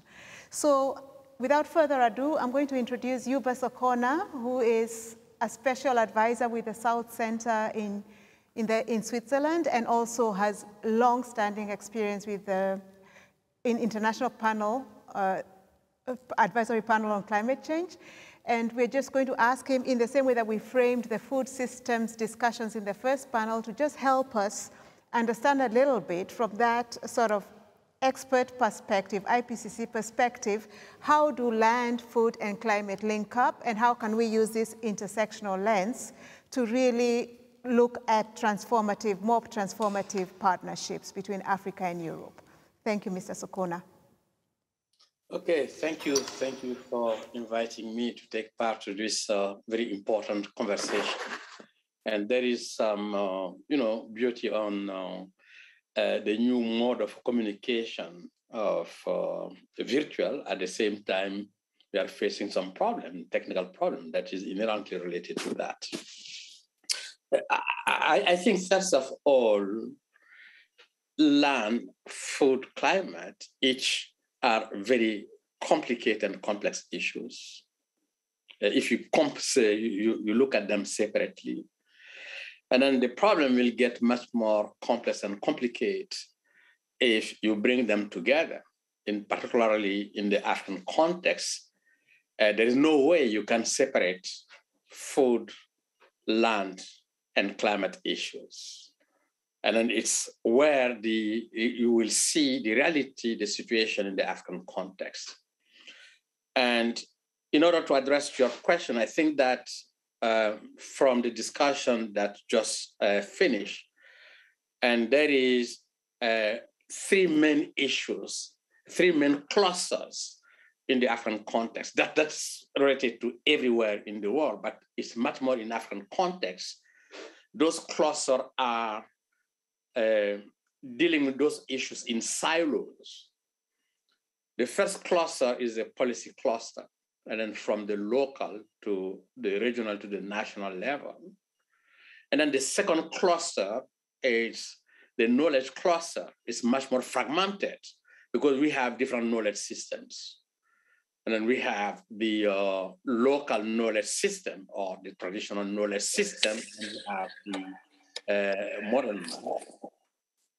And then the uh, third cluster is the practitioner, and that is from individual, from a farmer, herder, a private entity, or community-based issue. Each of them are working in uh, a fragmented way with no interaction between them. And then we all know that more and more, and this is how we came up with a various uh, solution space in a climate and to exploit them, that there is a need of frequent interaction between those three different clusters. Unfortunately, in the African context, there's no interaction between them they are completely separated. And then the, the, the one who is much more fragmented is the knowledge cluster. And then the traditional one is completely separated and then the other. And I think that this is fundamental issue. We need to bring those different elements. And then is from that perspective, it's needed to have an appropriate governance and institutional systems that is critical and fundamental, unless you bring those different things. But in the African context, the gap and then the weaknesses of those is supported by the so-called project. Because the project will never replace the governance and institutional deficiencies that exist, but no one is addressing those different issues. And then we have the tendency to look at the product rather than the process, as the process as important than the project. And I think that this is very important and then to look at. The second element is related to the inclusive governance that is critical.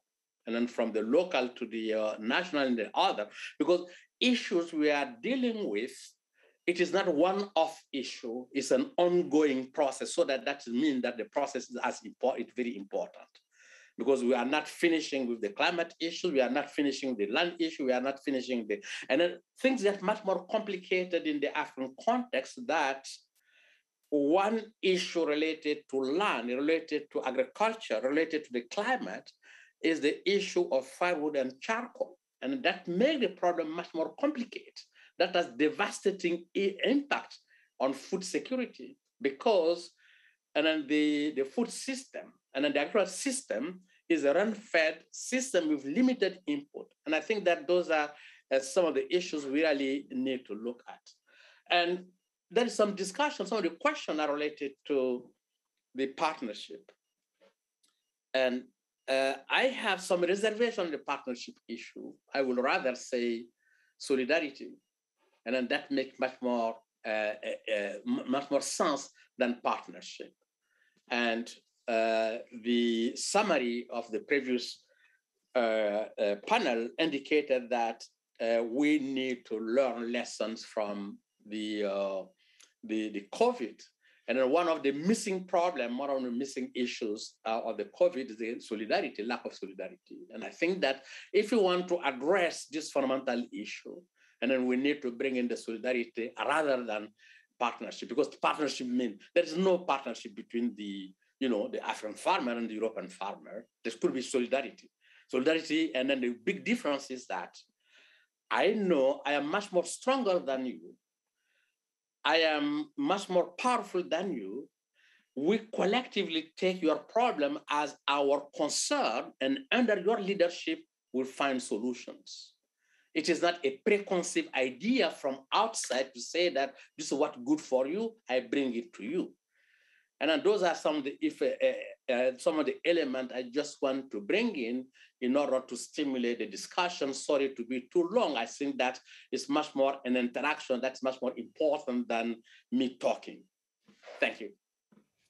Thank, thank you very much, Youba, and thank you very much for, for closing on this uh, very strong note of um, the important term of solidarity. And I'm sure by knowing who's going to speak uh, in the following, I think this is something that will definitely be, be taken up by others.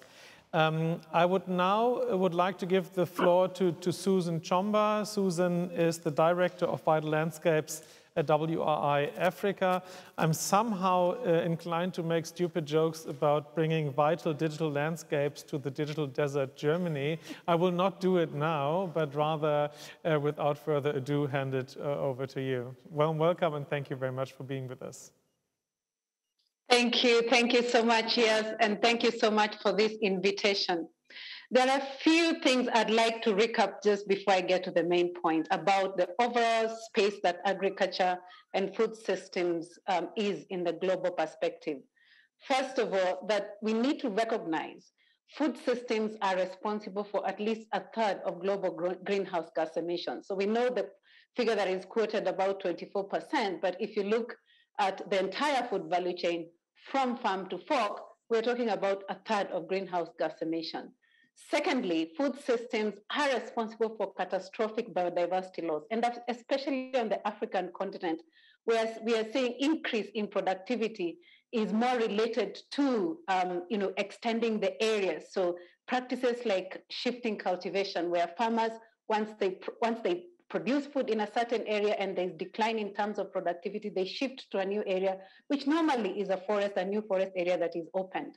Sometimes, if you have long fallow periods, this, sustain, this practice can be sustainable, but where you have short fallow periods and increasing population, then the practice is becoming increasingly unsustainable.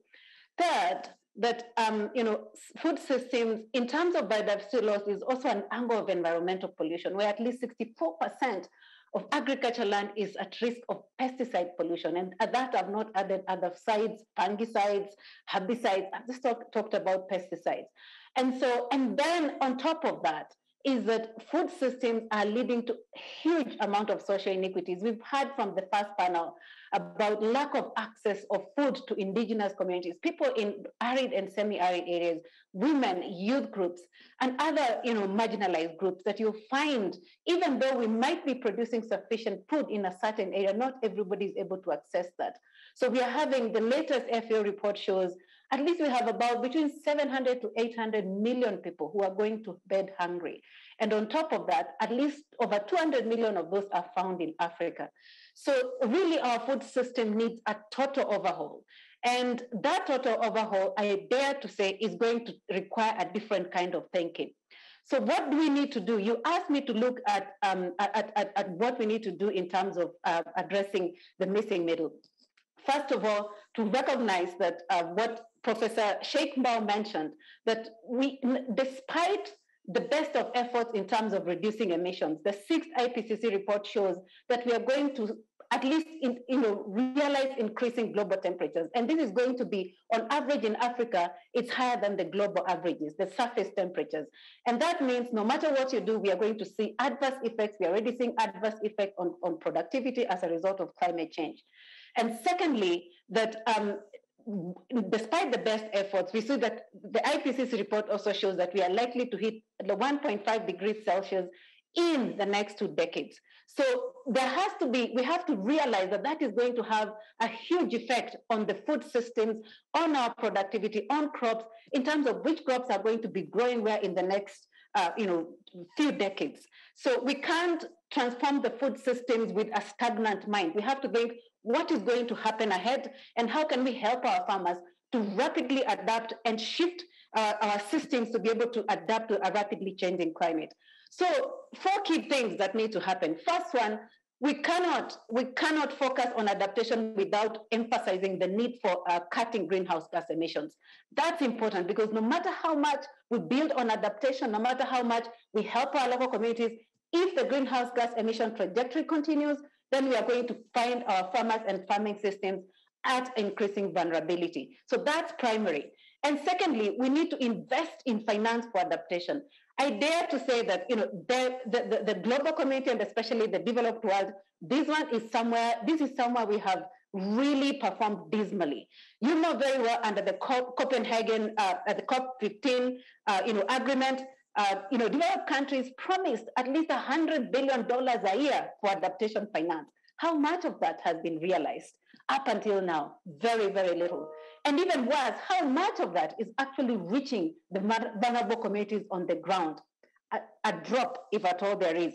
So really, it's not just increasing, we need to increase the finance for adaptation, but we need to ensure that it reaches the local communities and the people who are most vulnerable. And that I don't see as realizing using our traditional methods of fund transfer, using the current methods of transfer. This is an area that we can really be innovative in terms of uh, innovations in, in, in fi- finance mechanisms.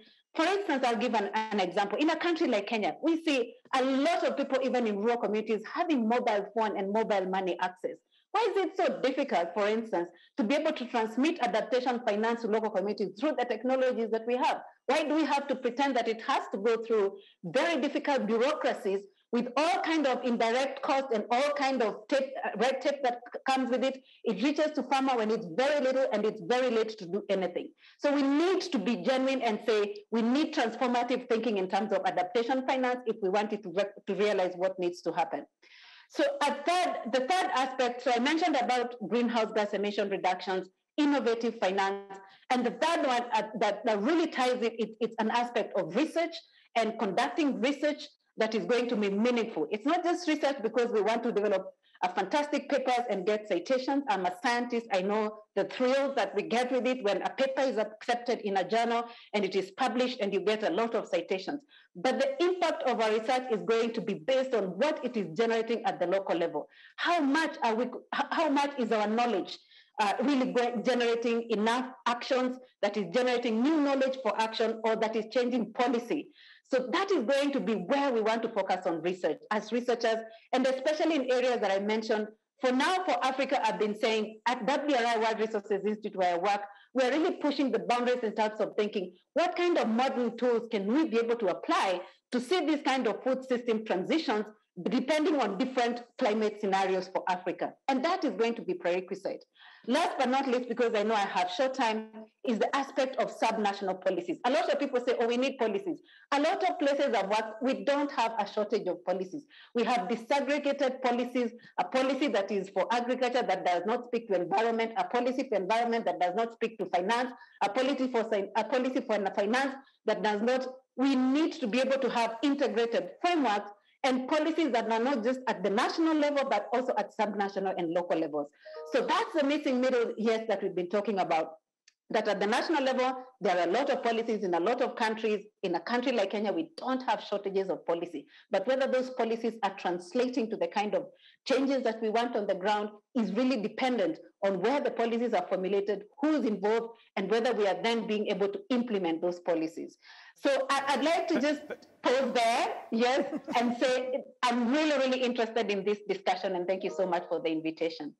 And thank you very much for this very passionate uh, statement, for really speaking to uh, the question of how to capture and what is needed to close the, the this missing middle. Um, Thank you. And uh, unfortunately, one of our uh, panelists has been unable to join us. We hope he was also not a victim of this missing middle in terms of the technology. So we're going to jump right to Antoine Oger, who is with the Institute for European and with the Institute for European Environmental Policy. My apologies for getting that wrong. And we've heard a whole barrage of, of suggestions, of disconnections, and you know, and yeah, innovative ideas that have been proposed. You know, is European policy up to the job? What, what, what is your take? Good afternoon. Well, thank you very much for your for your invitations. And indeed, with this, all the concepts that we've heard this afternoon are extremely important at the moment. I, I note just as a bit of a context, I note some words that were announced a bit earlier from Alexander, for instance, who mentioned that the global north in general and the EU in particular has a responsibility as to the current situation. And this needs to be, uh, all policies that are developed needs to take this into account. That's something job number one. And also based on what Susan has just said, I agree that financing is at the heart of it. Promises were made, agreements were reached on financing, and this now needs to be translated into uh, actions. And the cooperation policies of the EU are one of the way to go into that direction. Hopefully, should there actually be designed in such a way that they allow this transformative um, effect. So, at the moment, on the EU cooperation policy, we face kind of a change in the in context rule. You know, as up until recently, the relationship between EU And, so, and Africa was mostly regulated through the Cotonou Agreement in terms of cooperation, and we have now moved past toward a new financing uh, cooperation, which is more regionalized, so which could answer into this uh, need for target targeting the cooperation policies that have been mentioned. So this is an interesting um, development and also is putting a lot of accent on leveraging much more than before on leveraging private funds on leveraging investment sustainable investment and so on which is also very important when it comes to financing alone because public funds on their own won't reach won't make it up to the task leverage of private funds is also an interesting um, aspect and this brings me to the point that I also wanted to make. All these cooperation policies at the moment, we are in the new context, as I just said, but we lack this uh, revolution that is needed to make sure that um, intermediary forces, local governments, local communities, MSMEs, small producers, farmers, all these um, populations are actually involved in the in this cooperation policy. So far, their great principle have been mentioned. And again, as I said, in this new context, there are some steps in the right direction, and yet we need to have these provisions taken into the into the mix. So far, what happens is that what happens that we have discussion at the continental level between the EU and African Union. And then it goes down to the regional level, and then perhaps to the national level for the indicative program, for the, all these cooperation policies that are put in place on the EU funds. And then it comes to individual projects and programs for cooperation, which is, which is very good because this could answer to these targeted needs. However, the population that we've just mentioned, farmers, indigenous women also, of course, they're never involved in the design of these policies. They are receivers. They are receiver of these cooperation policies. And how could they feel involved then? How, this, how could this policy be considered inclusive when they are not including the, most of the population that they intend to support from the, from the beginning? So this population should be initiators, not receivers of this uh, of this uh, cooperation policy, and that is something that so far is missing in from the EU from the EU uh, perspective. We need. So yeah, so I will. I would like to maybe stop stop there for the moment, but I will have more to say in the in the remaining of the conversation. I'm sure. Thank you, Antoine. Uh, and I think uh, you were speaking about revolution. Uh, Youba was starting with speaking about solidarity, so I, I see a certain uh, direction here in the panel. No, but seriously speaking, I think it's a question that I had, uh, we had flagged in, in our first event to really ask, and this is a question that I would like to give to all three panelists. What have been movements, to not use the term partnerships, that actually managed to, to work together um, in solidarity to really address these the challenges that we have uh, discussed. And I think, uh, Youba, I would like to, to begin with you. Can you give us an example where you, in your professional uh, experience, have found a moment where this movement of solidarity that you requested actually took place? I, I think that the it has to start first of all at national level. And as we indicated, there is a fragmentation. And then all the challenges, the problem we are facing actually being climate or being food security issue, being uh, COVID, all are, you know, cross-sectorial. You know, we cannot look at the silos and then the, the problem has to start at national level. And at the national level, as I indicated, we need to bring together the three clusters that are not interacting at all. This is the policy cluster, the practice cluster, and the knowledge cluster. And then the policy at different levels. It is not only at, uh, and then the, the knowledge also, we have to look at the various knowledge systems. And as uh, Cheikh Mbow indicated, and then uh, particularly, uh, sometimes I just, you know, uh, uh, I ask some of the younger uh, Malian who has less than 40 years, I just joke with them. I said that, okay, I have two, 200 uh, US. Anyone who can give me the name of 10 local fruits, believe me or not, none of them are capable to do it. And then as Cheikh Mbow indicated, most of those fruits have a lot of nutrition value. And then they have also restoring land and different other issues. And then they can easily talk about apple uh, pears and some other. Uh, or, or, or, and then and, and this is very important and to have that, that that level at national level if there is a connection and then so that at international level it's much more easier and then to do it but unfortunately we are living in a system that uh, being it's it's it's the expert international being bilateral multilateral they know what is good for those people there. And then they come up with ready-made solutions. And then even if it's not adapted to the, the, the context of the situation. And then you know the european way of living or american way of living on chinese it is not the aspiration of the africans and then they, they have to define and then they have also to articulate their own food system, their own way of living, if they have the opportunity to do that. And this is why I said that the solidarity means you came with humility. And then you said that I will give you the support you need it, but you are the one who are in a driving seat. Okay. Uh, Susan, would you, may I ask you to pick up on what uh, Youba has just said?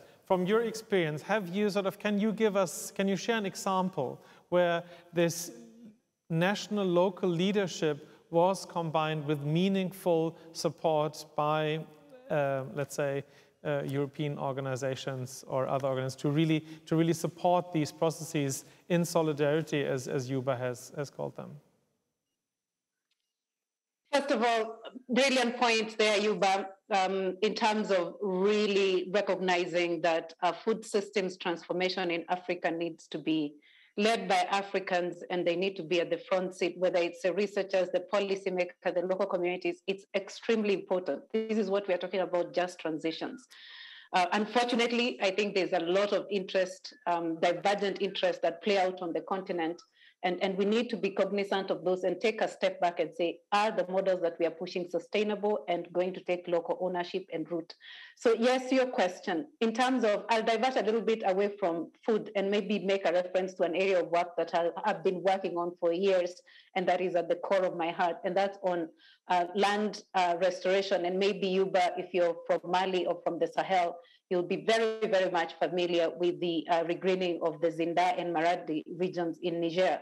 Uh, where you have over 5 million hectares uh, completely regreened by local communities in a context where we expect that when we see the Sahel, we see dry landscapes, we see areas that are um, very, very difficult to regreen. And that model to me speaks to what we are looking for a model that is community led, a model that, that really defies even policy. In fact, uh, some of the researchers that we've been involved in that on farmer managed natural regeneration or use of uh, uh, assisted natural regeneration in that region, what we found is actually the absence of um, implementing policies that would constrain farmers. So when when, when the agencies that would uh, enforce policies that would be uh, antagonistic with farmers, when they actually don't do it, when they let communities do what they know they, to do best, they restored those areas. Of course, there was support from uh, external actors, but really natural regeneration or assisted natural regeneration was really a community-led uh, movement. And it shows that it is possible to achieve what everybody is looking for, elusive aspect of scale. Everybody asks me, okay, this is a very good technology, for instance, in agriculture in this, but how do you scale up? And I like to refer people to that where you have community-led, you have uh, policies. If the policies are not supporting communities, if they are not implemented, communities just thrive. But if you have supportive policies, then they should be implemented to support local communities. And then you have national government actors and international communities providing what we call really the lift, providing the, the technical support where it's needed, providing the funding when it's needed, but communities really leading it from the forefront. So let me stop there. Uh, yes, but that is an example that really talks to me about not just successful restoration, but also aspect of scale. Okay, uh, Susan, uh, Antoine, I'll, I'll, give you the word uh, afterwards, but here's a question by one of our participants directed at you. That's why I'll, I'll stick with you. Um, and I think the question of our viewer refers to the question whether you can give an example how different sectors in the process that you've described, how also different sectors uh, can be brought together to address the multiplicity of policies that you flagged before. So I think the answer to yes is really understanding what we mean by participatory approaches. Participatory approaches and what we mean by meaningful participation of the different stakeholders. We need to understand in a landscape who's the different stakeholders and what stake do they bring to the table. So in that particular context that I gave, we know that the knowledge rested with the communities, the rights, the ability to do the work rested with the communities, but also the power, the legal power rested with the state agencies and we had the funding that came from uh, uh, uh, development partners. So really, it's it, it, it, it's understanding those kind of power dynamics, who's bringing what stake, and ensuring there's meaningful participation in the process. It's not an aspect of counting. We had five women on the table, we had five men, and so the process was, was participatory. That's what we call feigning participation or false participation because it's an aspect of understanding the power dynamics, the role of the different actors and what they bring to the table, and ensuring there's a joint vision, there's a common vision of what needs to be achieved. So I hope I got that question right, yes, but I'd say those are the kind of ingredients and, and sort of the, the ingredients to the sauce of realizing meaningful participation and realizing a, trans, a transformation that includes all the stakeholders in the process. Thank you, Susan. Um, Antoine, I'll, I'll, point the sort of, I will sort of rephrase the question and, and be a bit more pointed. This uh, sort of, we speak about, I think Youba has mentioned uh, inclusive governance, and also now uh, Susan has spoken to, to, to meaningful inclusion. Um, I mean, there, there's, there's political reasons and power reasons why people are being left out and why they are not being represented. If I would ask you whether you would have come across an alliance, a partnership, a solidarity movement that was very specific about this power differential and how it was overcome. Is there anything that you can share with participants that this and this was really instrumental in addressing this, this power gap? I can find of a, of a concrete example, yes, and I will come to that in a second, but just right now to absolutely fully support what Susan has just said. I mean, there cannot be a transformational effect. There cannot be a meaningful inclusion if we do not work with the people that are actually making the difference. And we need to work together. We need to work in solidarity to find a way to have these people in on the table when we have all these policies put together. Because otherwise, it will just be yet another way of imposing uh, a cooperation policy from the exterior, which will have no relation to the reality of the people, and eventually it will have very, very limited impact. So just to fully support Susan on that, uh, on that particular point, although it is obviously not easy considering the, the diversity, of course, of situation. In terms of a one concrete example that I could think of is, of, is a, a, project that I was involved with a few years back in the Western Africa. And it was to fight, uh, uh, to support small farmers to fight against fruit flies on, in their mangoes. The mangoes that will need to be ensured to not have been infected by fruit flies in order to be exported to the European Union. So a very, uh, of course, important project, and it has supported a lot of small farmers in the Western African region who eventually managed to um, uh, increase their, their export and their revenues for um, um, overall. And how did we do that? Exactly what, what we have just said. This was not an imposition. We did not come in with like, okay, this is how you're going to produce your mangoes. This is how you're going to keep your fruit flies at bay. This is how it's going to work. And then this is how you're going to export to the EU. No, absolutely not. The, the program arrived almost empty-handed with the, the will to support. And we uh, discussing with the small farmers, like, okay, how do you do at the moment? How do you think you could do if you had the proper support? And we eventually came up with some nets systems, with some communication systems based on cell phones uh, alerts to say where the fruit flies the clouds would uh, go to and eventually which uh, fields they would impact. And, and eventually it became um, a success, I would say. But and why? Because exactly as we said, this came out with solution from the ground, from the farmers, from the producers who said like, okay, this is what we do. This is how we could do if we were adequately supported. And eventually this is what we've done. Unfortunately, I have, so I have one good example, which I'm glad, but unfortunately, in many cases, it does not work that way. If I may, from what Susan and uh, Antoine indicated, because they all said that something that works, but the missing link is that there's no interaction between the three clusters. The policy, because the policy will scale out the, the, the, the, the experience that Susan indicated. This is natural regreening because it cannot go without. And then also, what is missing is the knowledge system because it has to be part of the uh, learning process, the education systems.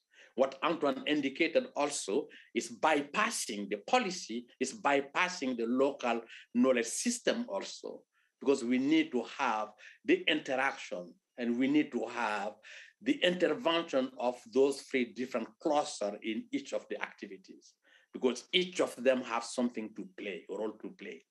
Because the knowledge system is encapsulating the experience and translating to the uh, training programs and different other. And then at the policy level, you need to scale out the experience the, uh, uh, that, that, that work at the, the, the local level. Sorry to be to, no no that's perfect. Uh, and and kumi please brace yourself uh, the the next question sort of i will give you the floor then afterwards. But i think i have one point that would uh, sort of building on what the three of you have said sort of Youba, you just concluded with saying the the upscaling but the upscaling often at least from my point of view, doesn't take place because this enabling environment is simply not there and the necessary leverage or force cannot build, be built up from the local level to actually achieve the policy change. So I, I think I'd like to get back, uh, give back the question to you, sort of what is the, if we adopt a look at scaling from a more political perspective, again, can you share an example? Is there something that you think we could learn from if such movements are actually to be supported, let's say by European actors? No, I, I, think that, uh, you know, back to the 80s, uh, it was the European Commission at that time, and then they tried to define their energy policy because at that time that was after the second oil shock. And they said that the only way they can clearly well articulate their energy policy, they have to get developing countries to articulate their own energy policy from their own perspective. And then they supported a program in which I was involved in, this is a cooperative program on energy and development. And each of the, they, they get a think tank from the different region, from Africa, from Asia, from Latin America. And each of, you know, the uh, those uh, institutions, think tanks, look at the same problem in their own perspective. There were no single ready-made solution, one size fit all. And then through that, the program, after the research, we initiated a training program. This is how the first energy planning program started in African context. And from that, that influenced the policies at the national level. And then those are some of the experiences we need to look at it. And then uh, in order to be able, we are also talking actually transformative changes. We do have no idea what those transformative changes means. It's only to take words but we are not, if you want to bring the transformative changes, you have to start working and then to dig in at the national level, at the local level, and then to bring you know, the knowledge system to bring the policy and then to bring the practices. And then the interaction of those three different elements will bring the transformative changes that's required at the scale that's required. Thank you, Youba. I would like to ask our distinguished panelists to please stay on the call. We will now um, like to ask Kumi to please make his intervention, and then we'll have a, a panel discussion uh, together with Kumi. Kumi, I hope our various digital hiccups did not lead to you uh, sort of, no. okay, so um, Kumi Naidoo is with us. Uh, I think he can probably speak as very few others from through the question of act from the point of view of activism on how to achieve change. We are honored uh, to have you with us. It's a pleasure to have you. Kumi, I'll hand over to you, and then we have uh, a panel discussion. Thanks for being with us. Thank you very much, uh, Jes and everybody. I, I'm reminded of a moment during the South African liberation struggle. If you followed the kinds of contributions that we've had, uh, both in the first session and in the second session, you usually started by saying, most of the really good points I wanted to make have been eloquently made by the previous speakers. And then you said, however, for emphasis, and then you spoke for about two hours. Uh, so let me keep my comments brief and just say that I think everything that needs to be said has been put on the table. And I think the point that gets stressed most is the gap between roughly knowing what to do and actually getting it done, right? I mean, a lot of what we are talking about is not fundamentally rocket science, but it requires political will and it requires a different mindset, both on the part of our leaders in Africa, both political and business leaders, as well as leaders in Europe. And again, I say political and business leaders, because I think there is two power streams that are big players in the question of food security and land use in Africa. And in some ways, corporate actors are as powerful in actually contributing to some of the challenges as governments themselves are. Now, I want to do something that I thought, you know, was the door was opened by our sister Mimi from Cape Town and I hope she's still there because I was so inspired by what she said. Uh, yes, I see she's still there. Um, that the way we, the biggest challenge for us is that the conversations that we're having, including this one, we are not able to engage the people that really need to be part of the conversation because of the language, the complexity, the issues, technology, and so on. So in this way, I'm going to say something quite blunt, right? And that is if we are saying, as we've been saying, to address the climate crisis, it cannot be business as usual, it cannot be government as usual, it cannot be philanthropy as usual, and I would add, it cannot be activism as usual. And there is a need for us to, in a context where the science is telling us that we are all living in the most consequential decade in humanity's history. And I don't think that is too much of an exaggeration. I believe what we are able to achieve in the next 10 years will determine what kind of future we'll have or whether we will have a future at all. So it is in that context that I think all of us now, irrespective of which sector we find ourselves in, must humble ourselves, be willing to look at how we are functioning, and remind ourselves of what Albert Einstein once said when he said the definition of insanity is doing the same thing over and over again, expecting to get different results. And I want to be honest with you, if I reflect on my life of more than 40 years of activism, I can safely put up my hand and say I meet that definition of insanity. Now, it doesn't, many of the tactical errors and so on we made, most of us probably made it with a clean art, with good intention, and so on. But the stakes are so high right now that there cannot be any space for ego, any space for us, um, you know, being economical with the truth. And we need to actually um, look the people that we are seeking to serve and in whose names we speak in the eye. And if we cannot say to these people, I don't think we can say to the people that we work with that we have a pathway out of this mess that's been created. We cannot, in good conscience, do that right now because there's so many blockages from so many levels. But I want to focus on what Mimi said about thinking about bridging this gap, right? And I would conclude this introductory comment before I share with you a resource that I've developed, which hopefully will be helpful, by saying that one of the things almost all sectors have in common as an error when we think about the people is that we very often are focusing on what people don't have. right? We're focusing on how they're excluded, how they're marginalized, how they're oppressed, how they are repressed and uh, exploited, and so on. Of course, we need to do that because that's the reality that we start from. However, if we do that in a way that forgets to recognize that notwithstanding all of that, notwithstanding all of that disempowerment, people have still clung on to power.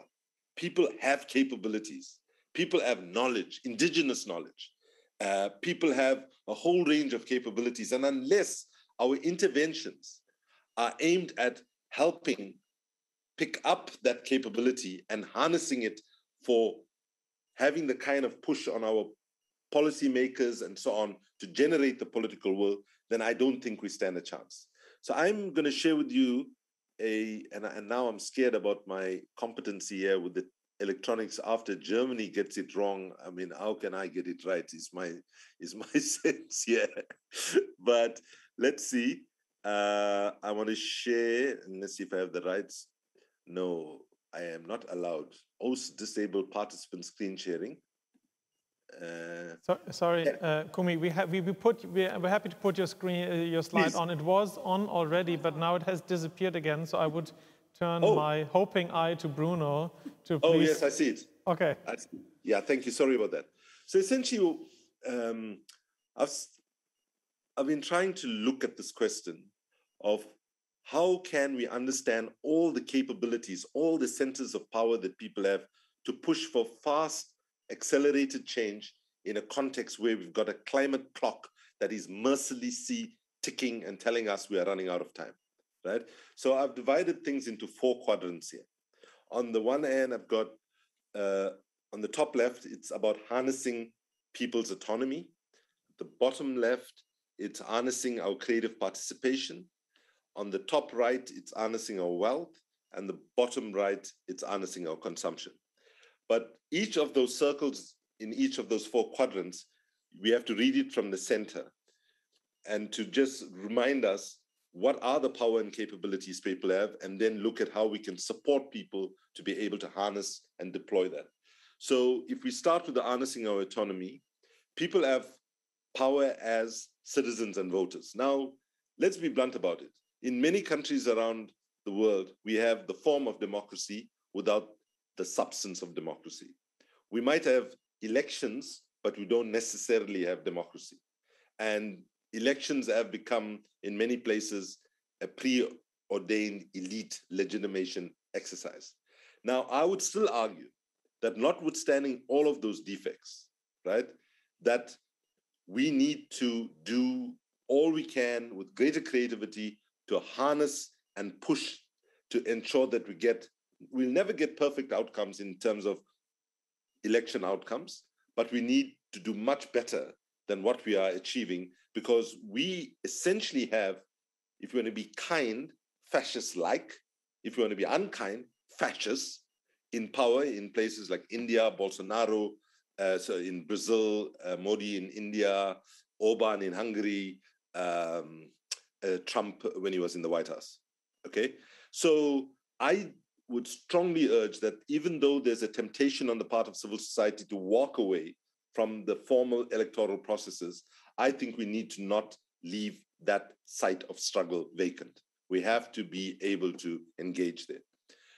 The second thing is people have power as enforcers of transparency and accountability. In multiple countries, we can show that where governments were trying, including my own South Africa, where there was major attempts to hide the industrial scale looting of the Zuma government, we have begun the process of getting back some of those monies, nowhere near what was stolen, but at least you can see that people through alternative media, creative activism, and so on, including whistleblowers being killed in the process and so on, but you can see that in fact there's uh, power there.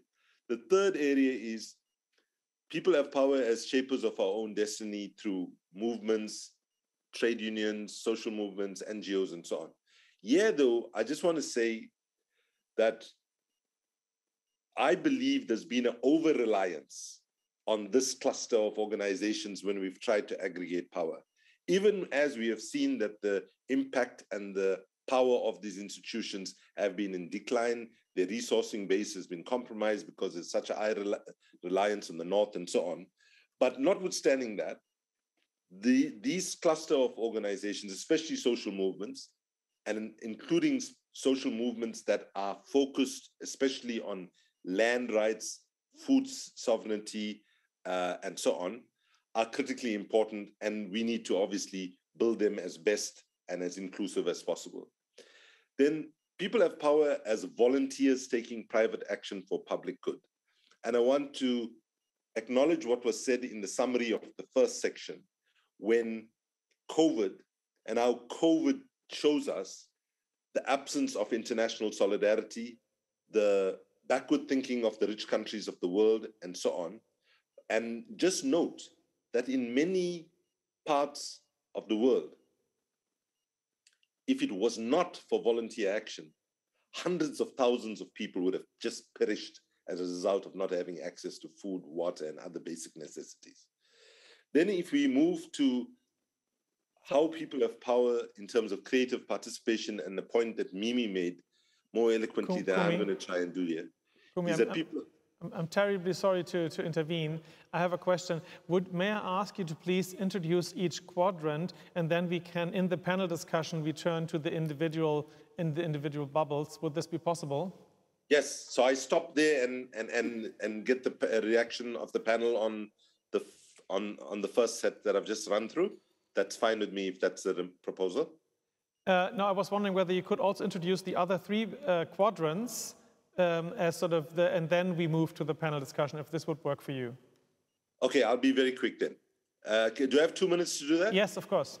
Okay, so then I was just about to say harnessing our creative participation is really, you know, l- let me just give you an example from South Africa.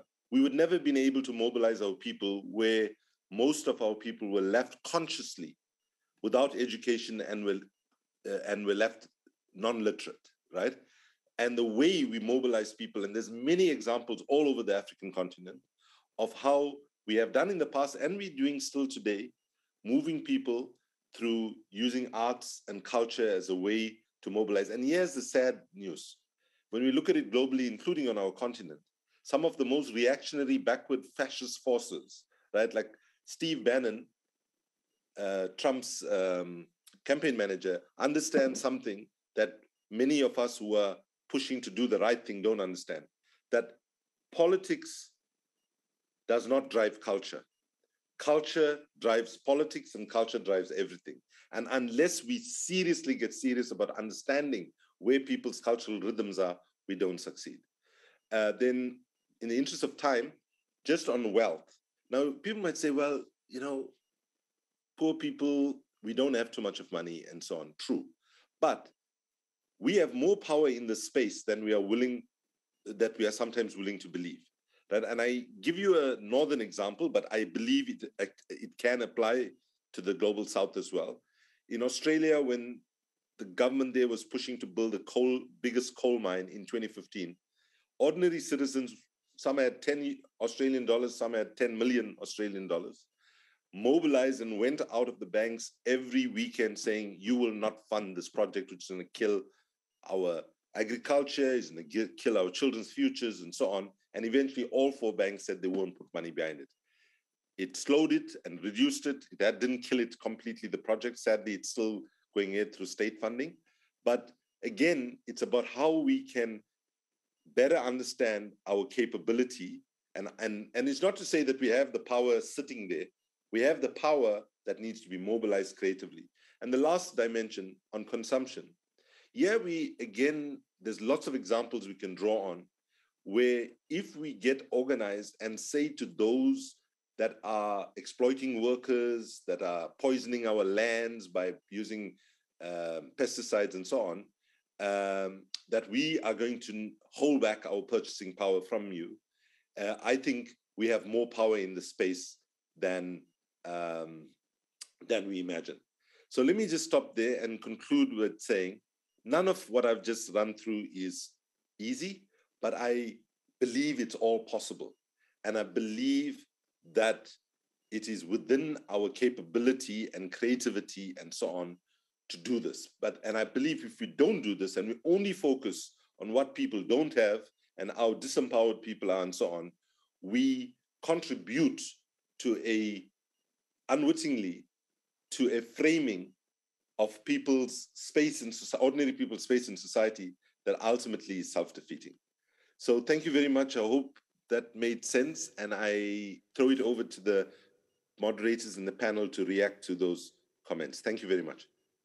Thank you very much, Kumi. And really, thank you so much, especially for turning our whole framing of the missing middle as a sort of negative, empty space into a positive space, and, and really talking about harnessing and really looking at the positive attributes that people have and how to bring those into the conversation. I think it's a fantastic way to sort of really wrap up this final session, really looking beyond what's negative, what's missing, to what can we actually tap. And so I'm going to just ask the panel, maybe because uh, Alexander is just joining us and Corinna as well, if she's still there.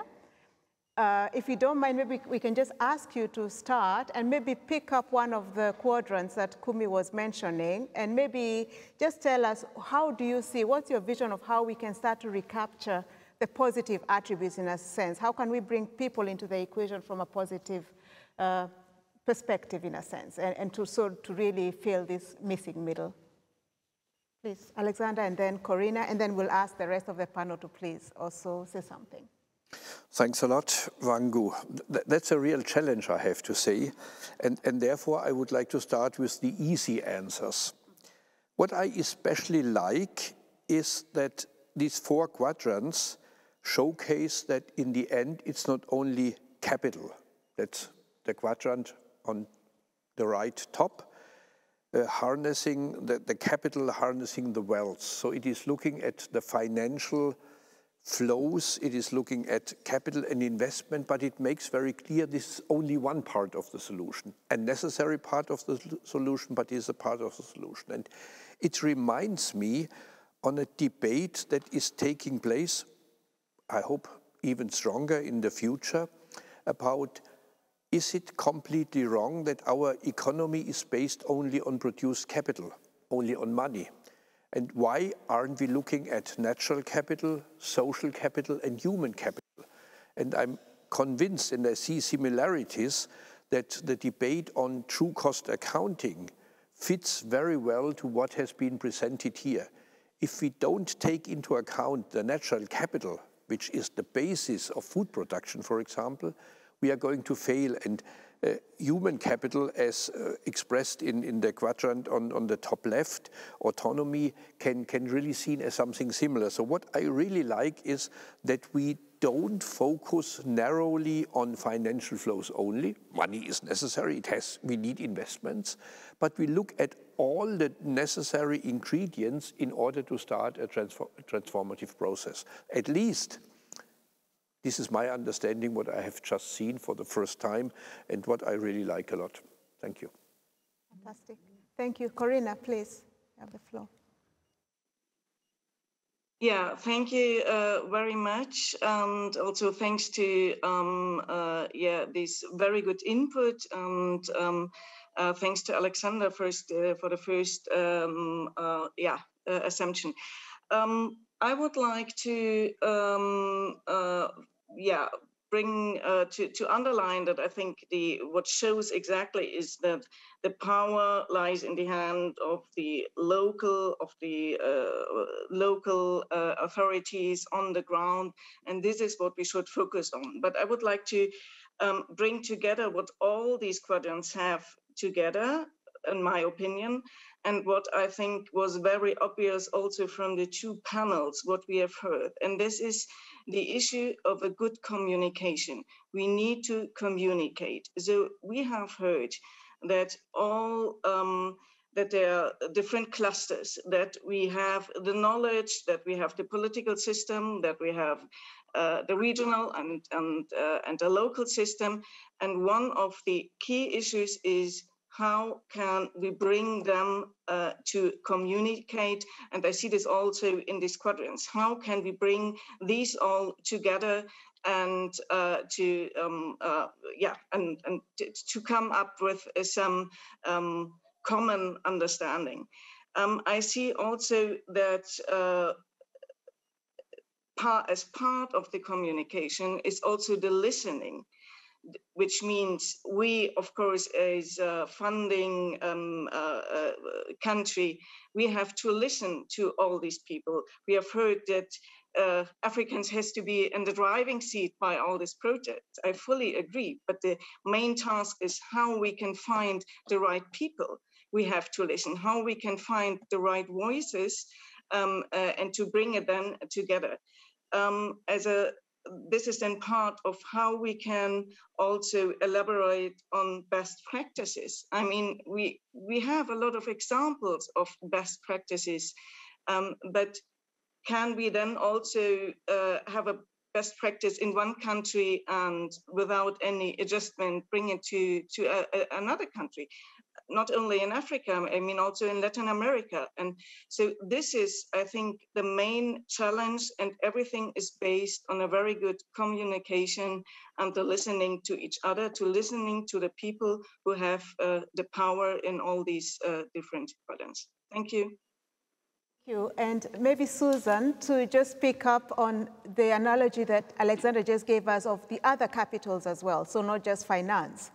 I mean, and you're really very much in the natural capital space. So I don't know, maybe I push you in a corner, but maybe some maybe positive attributes of how we can harness that kind of positive energy uh, from nature? First of all, excellent discussion, Kumi. You got my mind, you know, sort of completely, um, uh, you know, thinking the other way, uh, that focus on, on what people really have as opposed to focusing on what people don't have. I, I, think I'll pick a little bit in terms of, of, of, of, the paradox and, and the challenge that I find in this narrative. And I admit that come, I don't come from a social activist space, but I can see the power of the framework that Kumi presented here. I can see its power, but I'd just like to mention here a little bit in terms of the paradox that it presents in my mind. And for instance, those of us who've been involved in the food systems dialogue, we know very well it has been one of the most challenging space because as you mentioned there's corporate interest there's business uh, uh, government interest there's all sorts of interest in terms of food system transformation. So for instance in africa should we be pushing for a green revolution model? Should we be talking about green revolution in food systems transformation that involves you know use of external inputs to be able to increase productivity. Can we increase productivity for a growing population on a limited piece of land without expanding into uh, natural ecosystems? And there are you know arguments for that. And that's why agroecological transitions and agroecology has become a powerful movement because it not only looks at production aspects but also the power of social movement in what you are mentioning that we can be able to say to the business interest hey if you continue pushing on your pesticides on your on your we can withhold our purchasing power. And, and, and but for me what is really a paradox is that it's also an economic model. And now i'll come down to my mother as a farmer. I'm brought up by a single mom who's a smallholder farmer who have seen struggle to, to be able to increase the productivity in our two acres piece of land and the question is, when I try to discuss with her in terms of transformation, she's like, "But I do need to increase my food. I didn't. I do need uh, fertilizer." It's and, and and sort of the, the, the producer companies, the pesticide, the agriculture, com- the, the, the synthetic fertilizer companies have have really pushed this as an economic model that you cannot be able to increase your productivity without really, and especially in Africa, there's so much strong arguments around this. So my question is, so I'm, I'm struggling with that dichotomy because we, we as Africa, nobody wants to see a picture of an African child starving. Nobody wants to see the picture of a Turkana woman in the airport in the north when you cross around the airport with a begging bowl. We do want to see productivity increasing. But on the other hand, we know very well that we do need technologies and practices. And we do need social movements that can be able to come against that economic model that has been largely responsible for development since 1940s, 1950s. So for me, Kumi, I'm not trying to separate all that framework, but it's asking ourselves, how do we unshackle ourselves from a very entrenched economic model that we are all beneficiaries of to be able to transition to something that we are all proud of? Let me pause there. Okay. Uh, thank you, Susan. Uh, now, uh, I am wondering whether Mimi is still in the call because if you are Mimi, we would like to give you the floor as well to respond to Kumi. And until then, if you feel like joining us in the panel again, Alexander has a question to, to Youba. I have a question. Yes. Yes, and my question is a very simple one uh, because Youba, you made twice reference to do we really know how a transformation looks like? And I think this is one of the key questions we, we have to address. Very often in global uh, meetings, we hear we need a radical transformation. In the end, it's more efficiency, and it doesn't address the real question of change. And, and therefore, uh, Youba, could you please reflect a little bit more on how to set up a process to come to an understanding what transformation means based on the concrete needs of the people and based on the concrete conditions of agroecological conditions? You know, the, there is a paradox. The paradox is that in the African context, it is not a transformation, it's jump starting. Because in the European context, there is a transformation because it's the weakness of the system that has been put in place because you need to transform the energy system in the European context. That is why the transition is needed. You need to transform the agricultural system because we need, we have seen the result of the system that has been put in place. The paradox is that in the African context, we are in an early stage of developing the agricultural system. It can take different directions. At least we know what is not good for that. But unfortunately, we are not taking that. We need to build the energy system. And then we need also to build the urbanization system. Unfortunately, when we set urbanization system in Africa, we have in mind the cities in Europe. Because the cities in Africa are completely different from the, what we mean by cities. Because it's part of infrastructure of cities in Europe and a large part of rural way of living. And then so we need to define that completely differently. Unless we do that, we cannot make any transformation. And I think that Susan indicated that who said that we go, we have to find the right institution. We do have right institution, because the institution we have in Africa, in most of the countries, are not fit for purpose. This is the case of Europe. Because, but in the European context, you can easily bring together competencies in different places and then to put them together to solve a problem. The problem in the African context, by using projects, we bypass our institutions. And then we say that they are not working, they are weak, and then we draw resources from the institution to implement projects and then think will never work. And we need to change, if we are not changing our mentality to say that we do not have the right institution in place, how we can transform those institutions, how we can move from, uh, you know, perpetuating institutions and then securing our own comfort and then to create a problem solving institutions. It's completely different way. And then this apply to everywhere, including the UN system because they are not fit for purpose. And they are there to perpetuate themselves. And people who are there, they want to maintain their own position. And then we have to move from that. And then for the problem solving institutions are the farmer are doing, as the herder are doing, are those who are also fishing are doing, the fishermen are doing. And then this is in a very, in a nutshell, my reaction to your very important question. Are we willing to leave our own comfort and then to move toward a problem solving institutions? Thank you very much, Youba. Thank you very much for that answer. And I think I'm going to come back now to Mimi because you started off by saying that you felt like a statistic almost, and that we talked about the issue of, of language and culture. And Kumi has given us a kind of framework where we can actually start to see this in a positive way. How, how did you listen to that and how, does it give you hope? Where do you, can you see entry points maybe from where you stand in, at, at, your, at the community level?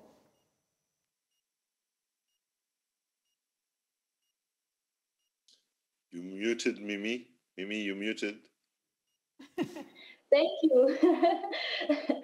um, so um, definitely, um, I think um, it, uh, I mean, from both, I, I also feel very empowered. Um, uh, so also for, um, from Kumi for, for, for echoing me in, in that. Um, so now I feel a lot more confident in also speaking, especially as, a, as, an, as an artist um, in, in, that.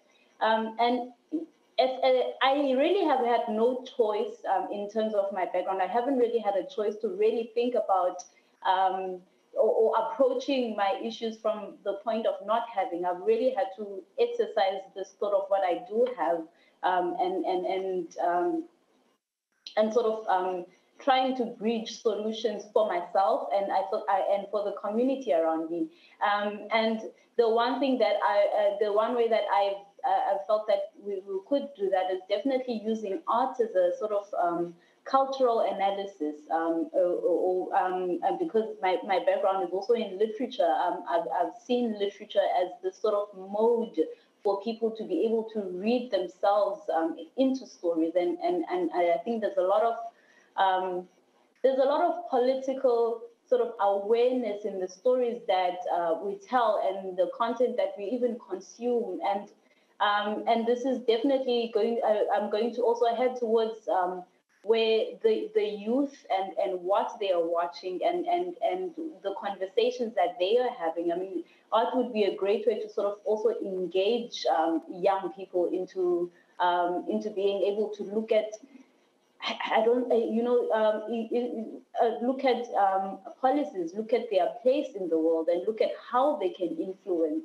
Uh, and this, this, and also coming back then from the the the, the perspective of um, perhaps even um, research and, and information sharing and being able to. I, um, I think uh, in, in, my experience, and COVID has really also hit um, so, sort of um, artists in South Africa really hard. But when I look at really what is going on and the work that people are producing and um, the work that I'm hoping to sort of produce in terms of reflecting um, uh, food security um, is, is that there's a really powerful chance to really use art as a sort of cultural analysis and to relay these messages that uh, we don't necessarily know how to express verbally um, in the in the simple sense how I'm doing right now. Um, and uh, you know, I, am going to make the example of music again because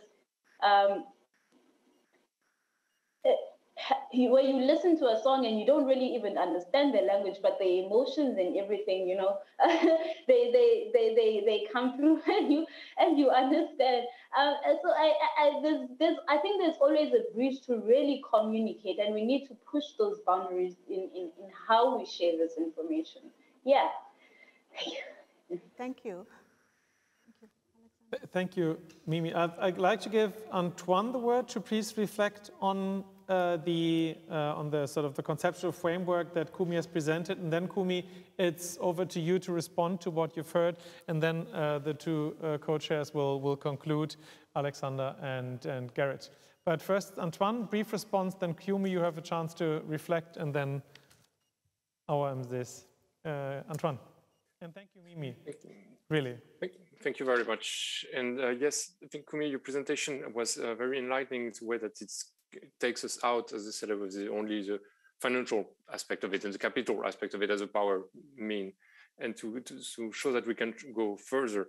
And for me, it relates very much when we talk about the EU cooperation policy again and what we consider a success in terms of a cooperation policy.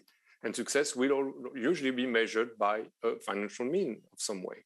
And and it should be it could be much broader than that. So this is where how your your uh, visual tool actually kind of i think helped me also to to envisage that in a, in a, in a different way. For that i was i was very very i was very very grateful. Now kumi with all the praise you've got what do you make out of this Well, thank you for your very kind and generous comments. Let me just start with Corinna first. And Corinna said, what is needed is good communication.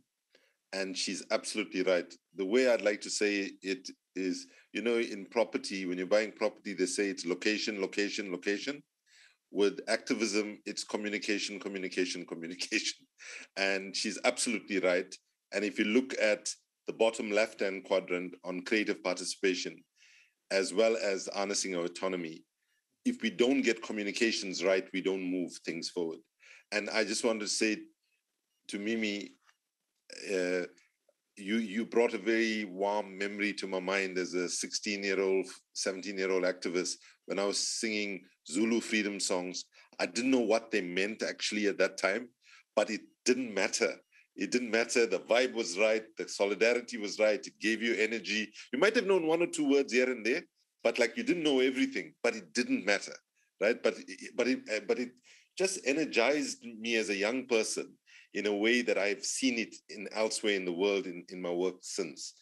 Um, Youba's point and um, and I believe others have already and, and you as well, Anton, made this point about it took it beyond finance. But actually, at one level, it's fundamentally about finance, right? In the sense, how do we unlock the resources we need to push an agroecology revolution in a way, right? And that means rethinking the way finances currently operate completely. So, but a lot of the pieces, right, are actually quite financially connected, right? Even if you take certainly on the right hand side, both the consumption capability and and harnessing of wealth, but in some ways you need the other two areas of autonomy and participation to give us a chance to shift finance in the way because if we don't have the power to speak to the most powerful institutions that we have, then we don't have a chance.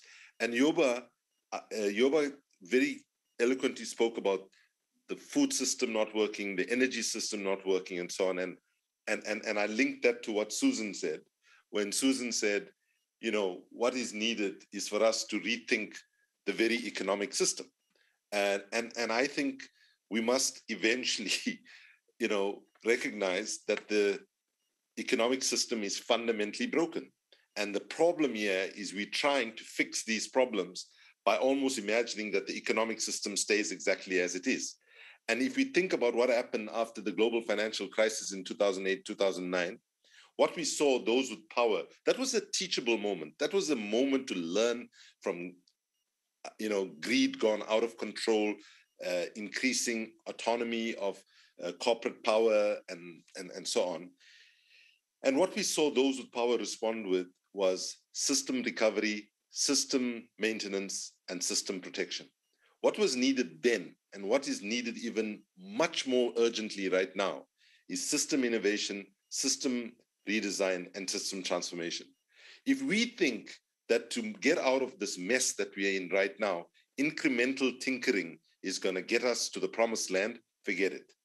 If we think that just rearranging the deck chairs on the Titanic is going to get us to where we need to be while humanity sinks, then in fact, we're not reading, I believe, the urgency of the moment sufficiently enough.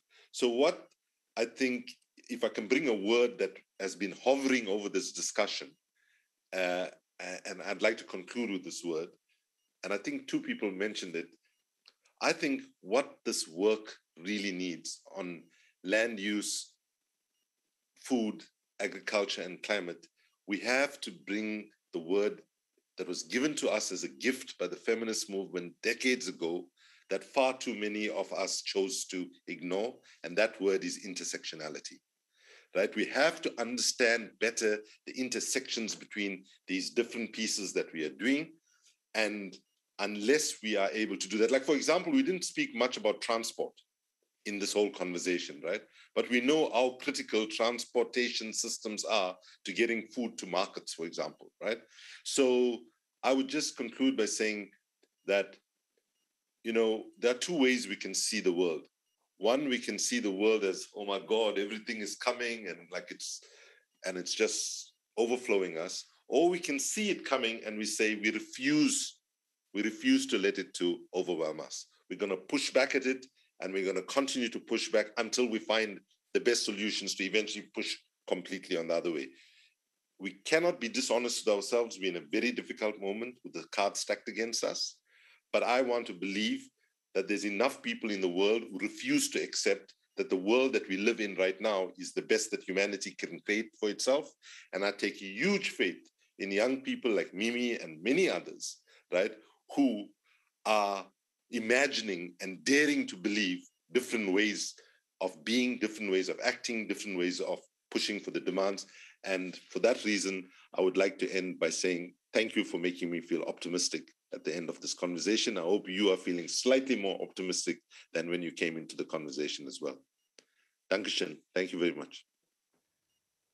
Thank you, Kumi. Anything that I would have to add would dilute your message, so I'll hand over to Alexander and then to Gareth. Thank you very much, all, really. You have been a fantastic crowd. Thanks a lot. Yes, uh, I would like to use three keywords I have heard uh, all over in, in the debate. Responsibility, solidarity, and partnerships. And I think we will need them all three responsibility is important to make again very clear that the global north has a responsibility to reduce its emissions drastically and as soon as possible. Just to give you an example, the world has emitted until now around 2,500 gigatons of CO2 into the atmosphere. 2,500. And if we want to stay below 1.5 degrees, there are only 500 gigatons left. The question is who has the right to emit them? Is it equally distributed between all countries? Has every human being the right to emit the same amount of CO2 or are we just ignoring it? And therefore it's our responsibility to drastically reduce. Second, I like the introduction of the word solidarity. But I think it needs a little bit more thinking what solidarity really means. Do we need new global public goods? Do we need access to global weather data free of charge for everybody? Do we need kind of a solidarity which allows the poorest people to have the same access to information than we have? And I mentioned it previously, access to vaccines is a question. And therefore, solidarity has to be spelled out because solidarity doesn't mean to give a little bit of money. Solidarity means creating new and different relationships and last partnerships. What I have learned in this session is that partnerships is never a one-way street. A partnership with African country could mean that we in the global north learn from countries in a semi-arid area how to deal with weather events. There are countries who have a huge knowledge about practices of agroforestry. In Europe, we just start. And therefore, maybe the word partnership means that we have to start a new type of partnership where we jointly learn, where we share information, but where in the end we bring with the partnerships responsibility and solidarity together. And therefore, my three words are responsibility, solidarity, and partnerships in order to bring the dialogue to something meaningful on the ground.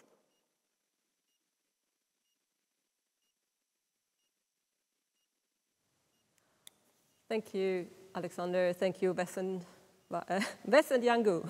yes, and Wangu. and thanks to all our amazing panelists for this inspired debate. Uh, it's not often you find yourself at the end of a two and a half hours virtual debate wishing for it to continue. Um, I can really not add anything on this debate by such a, of substance uh, of the debate by this distinguished round of experts and with so much power and determination. Uh, but let me just try to conclude with a few overarching thoughts also on that, that also guided us in the foundation in uh, the decision to host this event series. Um, first of all, we at the Foundation, we really truly believe that progress in global efforts to address the climate crisis require new partnerships between Africa and Europe. These discussions we just um, had have shown that, that these partnerships need to further empower civil society and community-based organizations. And as Kumi just pointed out so eloquently, people do have agency. And this agency needs to be strengthened through partnerships that are built on the principle that individuals and organizations from both Africa and Europe meet on equal terms to learn from each other and also maybe um, that we in Europe will see how much we have to learn from our colleagues um, on the sub in sub-Saharan Africa. I'm really proud that both our events have shown, uh, have provided evidence, I think, that such new partnerships can be possible. Um, second thought, the progressive realization of people's rights must be the foundational principle in our work to achieve food security and climate resilience. Poverty and inequality are root causes of vulnerability and hunger and need to be proactively addressed through rights-based approaches. From where I stand, both dialogues have underscored this point.